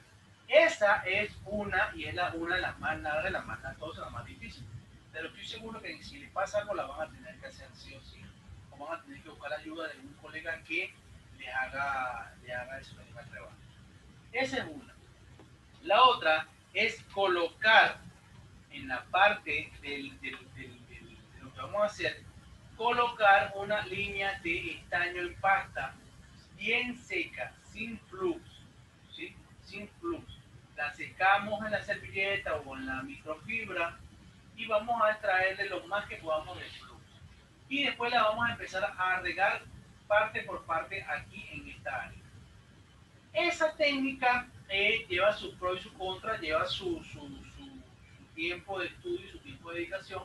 No les voy a decir que le voy a hacer a la primera, pero es un poco más rápida. Después que ya uno le agarra la mano, uno empieza ya a tirar una cantidad de estaño, digamos, parecida, similar. Ponemos el IC encima, ponemos el IC encima, bien calibrado. O sea, aquí lo, lo lindo de esto es que nosotros podemos ver bien que cada una de, las, de, lo, de, los pads quede bien colocado, bien bien puesto. Una vez que ya esos pads, que ese pad queda bien colocado, ahí es cuando le voy a tirar calor. Y va a hacer exactamente el mismo efecto que hizo cuando colocamos el otro. Él solo se va a mover, él solo se va a ubicar. Y si está entre lo más este, posible colocado, él va a buscar su posición correcta. Claro, si lo debo así en este caso, como ahorita, y le doy calor, lógicamente hay una probabilidad de que él vaya a su posición o de que se me suelte así como está y me quede todo, todo torcido. Entonces lo ideal es colocarlo, aquí me da un poco el pulso porque la cámara tiene cierto delay y eh, hago más fuerza en la que. En fin. Una vez que ya queda bien posicionado, una vez que ya queda bien posicionado, ¿verdad? Ahí es cuando le voy a dar calor. Lógicamente, después que yo tire todo el estaño, voy a poner un poquito de flux en esta área del centro. ¿Para qué? Para que el mismo, el mismo flux, flux absorba el componente, lo chupe, digamos, y así el componente llega a su posición inicial. Le damos calor y el mismo lo que va a hacer es lo que hizo el otro, va a hacer es un se mueven y el mismo se posiciona. Nosotros vemos que básicamente cuando hacemos un revale siempre va a quedar una altura, pero cuando nosotros soltamos, él lo que hace esto, se eh, adhiere a los pads y de esa manera entonces ya nosotros estamos tratando de hacer lo que es un rebate. Esto es un amplificador de potencia. Esto lo que hace es que genera los voltajes, absorbe los voltajes y los genera ¿Para qué? Para que la señal se pueda conectar bien al teléfono. Para la fuerza, la potencia de la señal. Acá vemos otro que es igual, acá vemos otro que son diferentes. Vamos a ver este que está aquí al lado de A ver de qué forma es. Queremos en este caso, en esta clase, que aprendamos a diferenciar la, muchos componentes. ¿Qué diferencia uno tiene uno de otro? ¿Por qué? Yo estoy haciendo esto porque yo en la guía le puse lo que era condensadores, resistencia, bobina, todo eso, así que ya eso deberían por lo menos haberlo leído y tener pues, una idea vaga de cada una de las cosas. Si tienen alguna duda con respecto a eso, por favor, escriben, me llaman y yo con gusto voy a, este, a explicarlo. El mismo método de extracción vemos que este es un PMU DRF. Este PMU DRF también, este es el que realmente eh, genera los voltajes, que, pasa los voltajes a todo lo que es radiofrecuencia. Este señor es el encargado de administrar toda la información que entra de lo que es la radiofrecuencia. Podemos ver, podemos ver que este señor es un poco más dificultoso para poder eh, para poder generar un rebate. A este señor sí es muy, muy, muy, muy difícil que hagamos un rebate manual, o sea, que jugamos pad por pat Yo lo intenté en paso en paso, yo no pude hacer. Lo intenté muchas veces porque podemos ver que este tiene los pads como cruzados, no tiene los pads laterales y horizontales como comúnmente lo vemos, sino que los tiene como cruzados. Entonces necesitamos necesitamos un extensión que sea preciso para él. Ojo con el tema de los extensiones. Si ustedes tienen la posibilidad de comprar extensiones de diferentes marcas, de diferentes formas, amigos, compren. lo que eso no va a ser una mala inversión. Los stencils cuestan entre 1.000, 1.500, 1.800 y 2.000 y pico, dependiendo de, este, dependiendo de lo que de lo que vayan a hacer, Pero yo les recomiendo que lo compren, ¿por qué? Porque lo van a necesitar Es mejor tener y no necesitarlo que necesitarlo no tenerlo porque les va a pasar de todo. Bueno, este tipo de IC lo vamos a encontrar mucho en algunos Motorola, lo vamos a encontrar en, la mayoría de los Wi-Fi del, de los Huawei, vamos a encontrarlo en varios equipos y lo que nosotros necesitamos es que tengan más o menos las medidas parecidas. No importa si el liceo o el, o el, el, stencil sea más grande. Lo importante es que el, stencil tenga la posibilidad de abarcar por lo mínimo mínimo la cantidad de paz que necesitamos. Eso es lo que nosotros buscamos en stencil. Busquen stencil de agujero cuadrado en la página de GNT Unión Tools, eh, ven que hay varios tipos de stenciles y él identifica cada uno de los stenciles. Hay muchos que son para Motorola, son muy buenos, yo tengo la mayoría de ellos. Y hasta ahora estoy trabajando con ellos. a, veces ahí tengo como tres cuatro stenciles, tienen como un año conmigo y ni los he tocado. ¿Por qué? Porque encontré algunos de diferentes versiones, algunos que son Motorola, yo los que son Samsung, los que son Huawei, de iPhone. lo que más yo utilizo son los de Motorola y los de, y los de iPhone. Los de agujero cuadrado. ¿Por qué? Porque me sirven casi para la mayoría de los componentes. Entonces es importante que sepamos eh, cómo colocar el stencil para que eso para que esos pares queden bien puestos, Ya una vez que nosotros encontremos la forma de que esos parques queden bien hechos, no vamos a tener ningún tipo de, de intervalo imposible los mismos, los mismos que nosotros vemos en alguno de los, de los, de más conocidos intérpretes de la, de la electrónica, lo, vamos a poder hacer. Pero seguro que era uno de los que veía en los diseños, pensaba que son imposibles, jamás no poder hacer.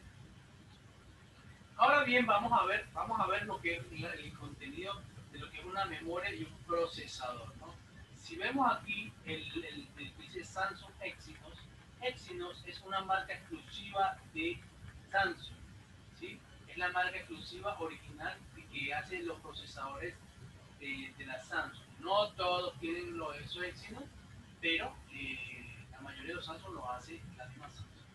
La memoria la podemos identificar, por ejemplo, si nosotros debemos saber qué es un procesador, pues lo buscamos aquí, es Samsung Exynos, y si pones el código acá, te va a decir qué procesador es, su capacidad, su velocidad, su todo. Si ponemos acá el Sky, el sky ¿verdad? Ya automáticamente saber que dice Skylux o Skies, dice que es de memoria, ¿sí? Es una línea de memoria, ya sea de memoria SD o en este caso memoria NAND, son almacenamiento. Si no sabemos, si no lo sabemos identificar no entendemos, es bueno que escribamos eso que vemos ahí, lo busquemos y lo pongamos en, Google con este código. A veces nada más poniendo este código te sale una, memoria, una memoria así, así, así, te dice la capacidad, te dice todo. Entonces, eso ya lo tenemos que tener un poco en, cuenta. Ahora bien, vamos a ver cómo son los procesadores y cómo es la diferencia de la memoria. Yo les expliqué a ustedes en la primera clase eh, cómo se retira la resina, lo voy a volver a hacer para que lo veamos para algo más claro. Siempre 200, yo por lo menos 200 grados de calor, 68 de aire. Eso no va a afectar en nada a lo que es la memoria o el procesador. Si nosotros estamos usando esa temperatura o una temperatura similar y yo al pasar cerca de algún componente, ese componente se mueve, entonces tenemos que bajar la, tenemos que bajar la temperatura. ¿Por qué doctor? Estoy usando 200 grados, pero está usando 200 grados, pero no estás analizando el tiempo de, que que estás dando calor y estás, ah, analizando también el ambiente. De repente en ese momento está haciendo mucho calor y lógicamente la persona te va a mandar más calor. Nosotros tenemos que tener, ser muy precavidos con respecto a lo que es con respecto a lo que es el por Les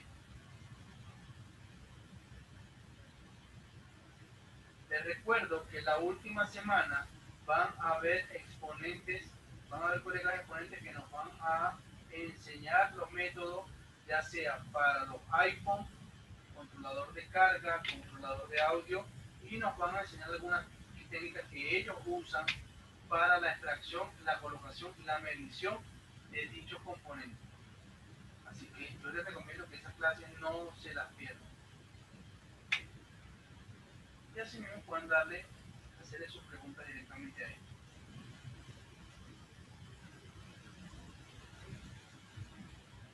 Una vez que ya retiramos la resina, esta misma técnica la podemos utilizar si vamos a sacar el, conector de carga, si vamos a sacar algún componente que le vamos a dar bastante calor alrededor de ello. Primero tenemos que hacer esto. Una vez que hacemos eso, es en vano que nosotros tiremos algún tipo de flux o algo. ¿Por qué? Porque ellos aquí abajo tienen mucha resina. Y el flux no va a pasar. En este caso ya yo voy a extraer lo que es el procesador. ¿Por qué lo voy a hacer? Primero porque quiero que vean su composición y quiero que vean lo que la resina como tal causa. Y los problemas que causa la resina son que no permiten que, que después que haya una cantidad de calor, no permiten que el, mismo estaño vuelva a llegar a donde estaba. Por eso es que es este, difícil trabajar cuando hay componentes que tienen este tipo de resistencia. Cuando yo voy a sacar un procesador una memoria, yo primero tengo que ir cortando sutilmente cada parte. Pasa la memoria de los NAM, pasa la memoria de los iPhone. Pero hay que hacerlo con sutileza. ¿Por qué hay que hacerlo con sutileza? Porque si yo llego a meter la, la, cuchilla antes de lo, que, de lo que debo hacerlo, entonces puedo arrastrar pads, puedo cortar eh, algo, alguna información. Alguna información o algún pad que no, que no, que no deba cortar. de esta manera, podemos ver, analizar acá lo que son las memorias. Podemos analizar cómo es la composición y podemos ver aquí la cantidad de resina que tienen estos componentes por debajo. Por eso es que son tan delicados. No es porque ellos sean malos, de que no, que es mala calidad, que por eso se dañan, que esto, que lo otro. No, son malos es porque tiene esa cantidad de resina que al momento de recibir una cantidad de calor, el estaño lo que hace es compactarse, comprimirse. La resina no, la resina no se mueve, ni sube, ni baja la resina simplemente lo que hace es mantenerse ahí. Entonces, si el estaño que ya pusimos se contrae, ya lo que hace es que se despega directamente del pad de la placa. Entonces quedan así, quedan cerca, pero no hay una unión. Y al no haber una unión, no la va a ver porque la resina no permite que el componente baje. Y al no bajar el componente, pierde la comunicación. Entonces, ¿qué hacemos? Tenemos que bajar la memoria o bajar el procesador, de eliminar toda esa resina que es un se saca de la misma manera como sacamos ahorita la misma resina. Utilizamos 200 grados de calor, en mi caso, y empiezo a darle calor. ¿Qué hago yo? Trato, trato de sacar toda esa resina restante. Aquí se ponen unos con el procesado tenemos que tener muchísimo cuidado de sacarlo. No podemos permitirnos de que se vaya algún pato. Básicamente en los iPhone o en algún, equipo que tengamos, que tengamos alguna herramienta como la de cajota, la piscina la, la, la Borneo, eh, podemos ver si esos pads que se nos fueron son de no conexión, si son masa y en ese caso, pues bueno, no, no, no pasa nada. en este caso se fueron varias, varias, varios partes claro, también lo, estoy sacando a modo de, demostración, ¿no? Tampoco es que tuve todo el cuidado como para hacerlo. Y en ese caso, después que más o menos le quitamos la resina, ahí sí vamos a utilizar la extracción también con la malla. Aquí la misma, yo no puedo usar la malla ni alarla ni estirarla, ni nada, hasta que no levante el cautín. ¿Por qué? Porque aquí con mucha facilidad se van a pasar Si yo retrego mucho la malla en una parte, puedo romper alguna línea, puedo romper, puedo hacer algún daño. Entonces yo básicamente lo que hago es que yo no trato, ojo, yo aquí estoy tratando de sacar la resina. Yo lo que estoy tratando de y ver cómo estoy tratando de sacar el estaño y ver cómo la resina me impide que yo toque la parte y tengo que hacer una leve fuerza. Me impide que yo toque lo que es el estaño, que llegue al estaño. Entonces es lo mismo que pasa cuando yo le doy calor a esta área de, la, a esta área de la, de la ¿cómo se llama?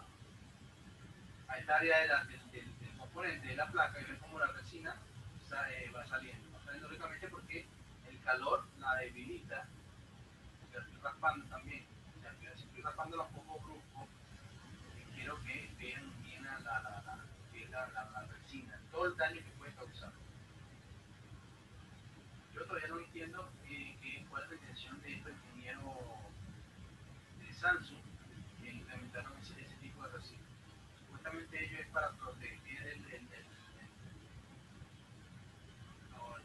placa de alguna, alguna humedad o de algún problema con agua. la verdad es que esa resina causa daños que, que todavía muchos no se imaginan. Muchas veces el procesador es bueno, calienta bastante y al calentar bastante afloja los pasos.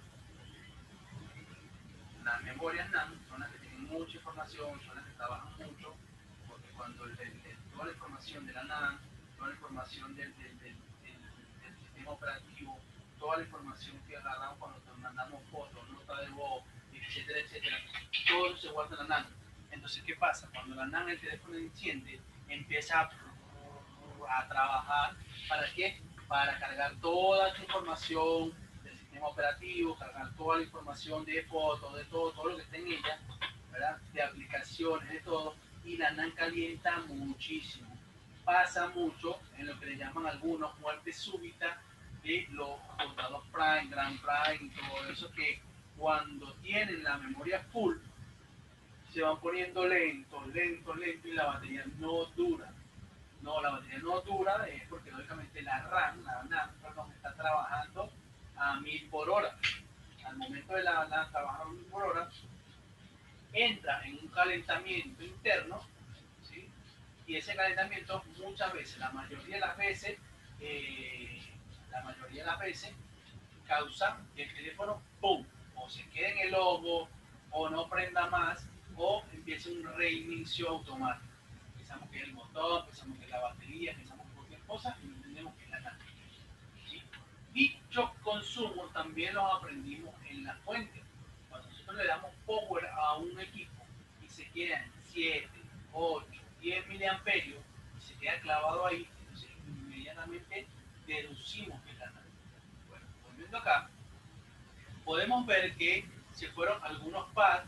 lógicamente ya yo, yo no los saqué con el mayor de los cuidados, pero es ahí donde, para que veamos la delicadeza que esto debe tener.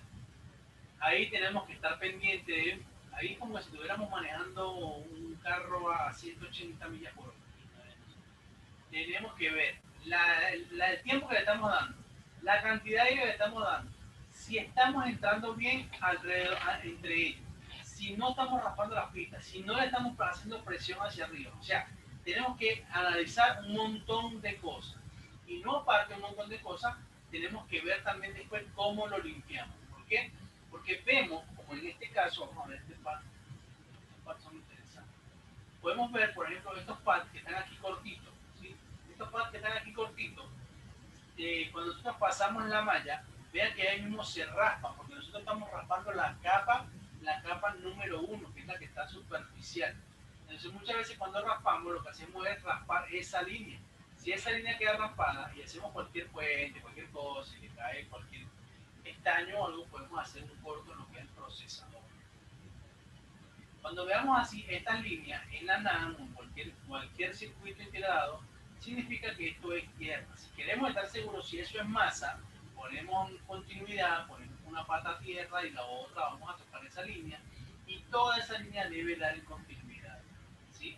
Si vemos que están unidas, entonces ya entendemos y sabemos que esas líneas están unidas, y todas son unas líneas que van a tierra o que van a una línea ya sea positiva, puede ser, pero todas van a una comunicación. ¿Qué significa? Que la mayoría de las veces hay algunos pads como estos que se rompen y tenemos que obligatoriamente, así sea masa, tenemos que rehacerlo. ¿Por qué? Porque si es un parque, tiene una esperanza, tiene una señal y de repente se necesita que tenga la tierra, el componente debe tener la tierra, entonces tenemos que sacar esa tierra. Esta es medición, señor. A veces vemos que nada más es levantar un componente, escupir el estaño y volverlo a colocar. No se puede. Nosotros tenemos que agarrar y medir. Si se nos fue tenemos que ver si es masa, si es no conexión LC o es open line. Si es open line, tenemos que ver si tiene algún valor o conexión alguna otra línea. Todo este tipo de cosas nosotros tenemos que irlas deduciendo, irlas aprendiendo, irlas practicando y las midiendo.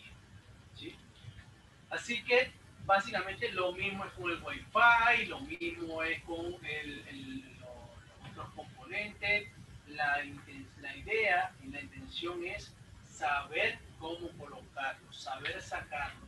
Cada vez que yo voy a sacar un componente, si yo no tengo otra placa, si yo no tengo de dónde salir, si yo no sé, yo voy a revisar estos puntitos que vemos acá. Estos puntitos en el componente me indican que esta es la posición, en esta posición este tiene que ir dicho componente. Si nos ponemos a analizar todos los componentes, todos los componentes tienen una marca, todos, todos, no hay ninguno que Ojo, y es muy importante esto. Los componentes no son negros porque el, el porque el, ¿cómo se llama? Porque el componente sea negro. Si nosotros agarramos y hacemos esto, ¿Qué lo que sucede. El componente se pela. Si nosotros empezamos a hacer y nosotros empezamos a hacer la praxis del calor, hacen que esta, este colorcito negro se vaya. Y en ocasiones va cerca de la parte de donde tenemos marcado. Es decir, que si nosotros no sabemos cómo manipular un componente integrado, lo podemos eh, raspar de esta manera y nos puede causar algún problema a la hora de la colocación. Entonces, tenemos que tener cuidado. Traten de usar eh, puntas eh, de, pinza muy precisas. Hay unas puntas que valen como 3.500 pesos, pero son muy precisa a la hora de agarrarlo. ¿Por qué?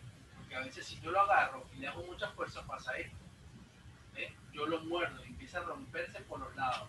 Y si le voy más duro, porque no voy pelando, cada vez pelando, le voy quitando un pedacito alrededor.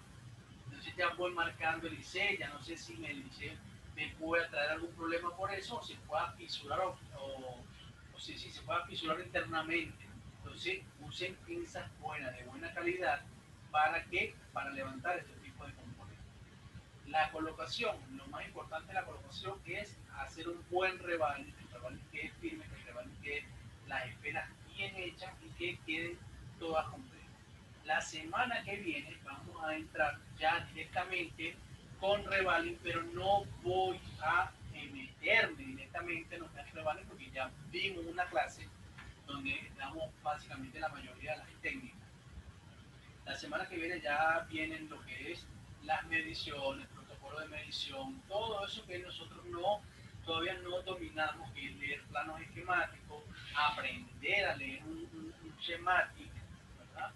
una orden de servicio, eh, a leer todo ese tipo de cosas para poder tener más información a la hora de diagnóstico.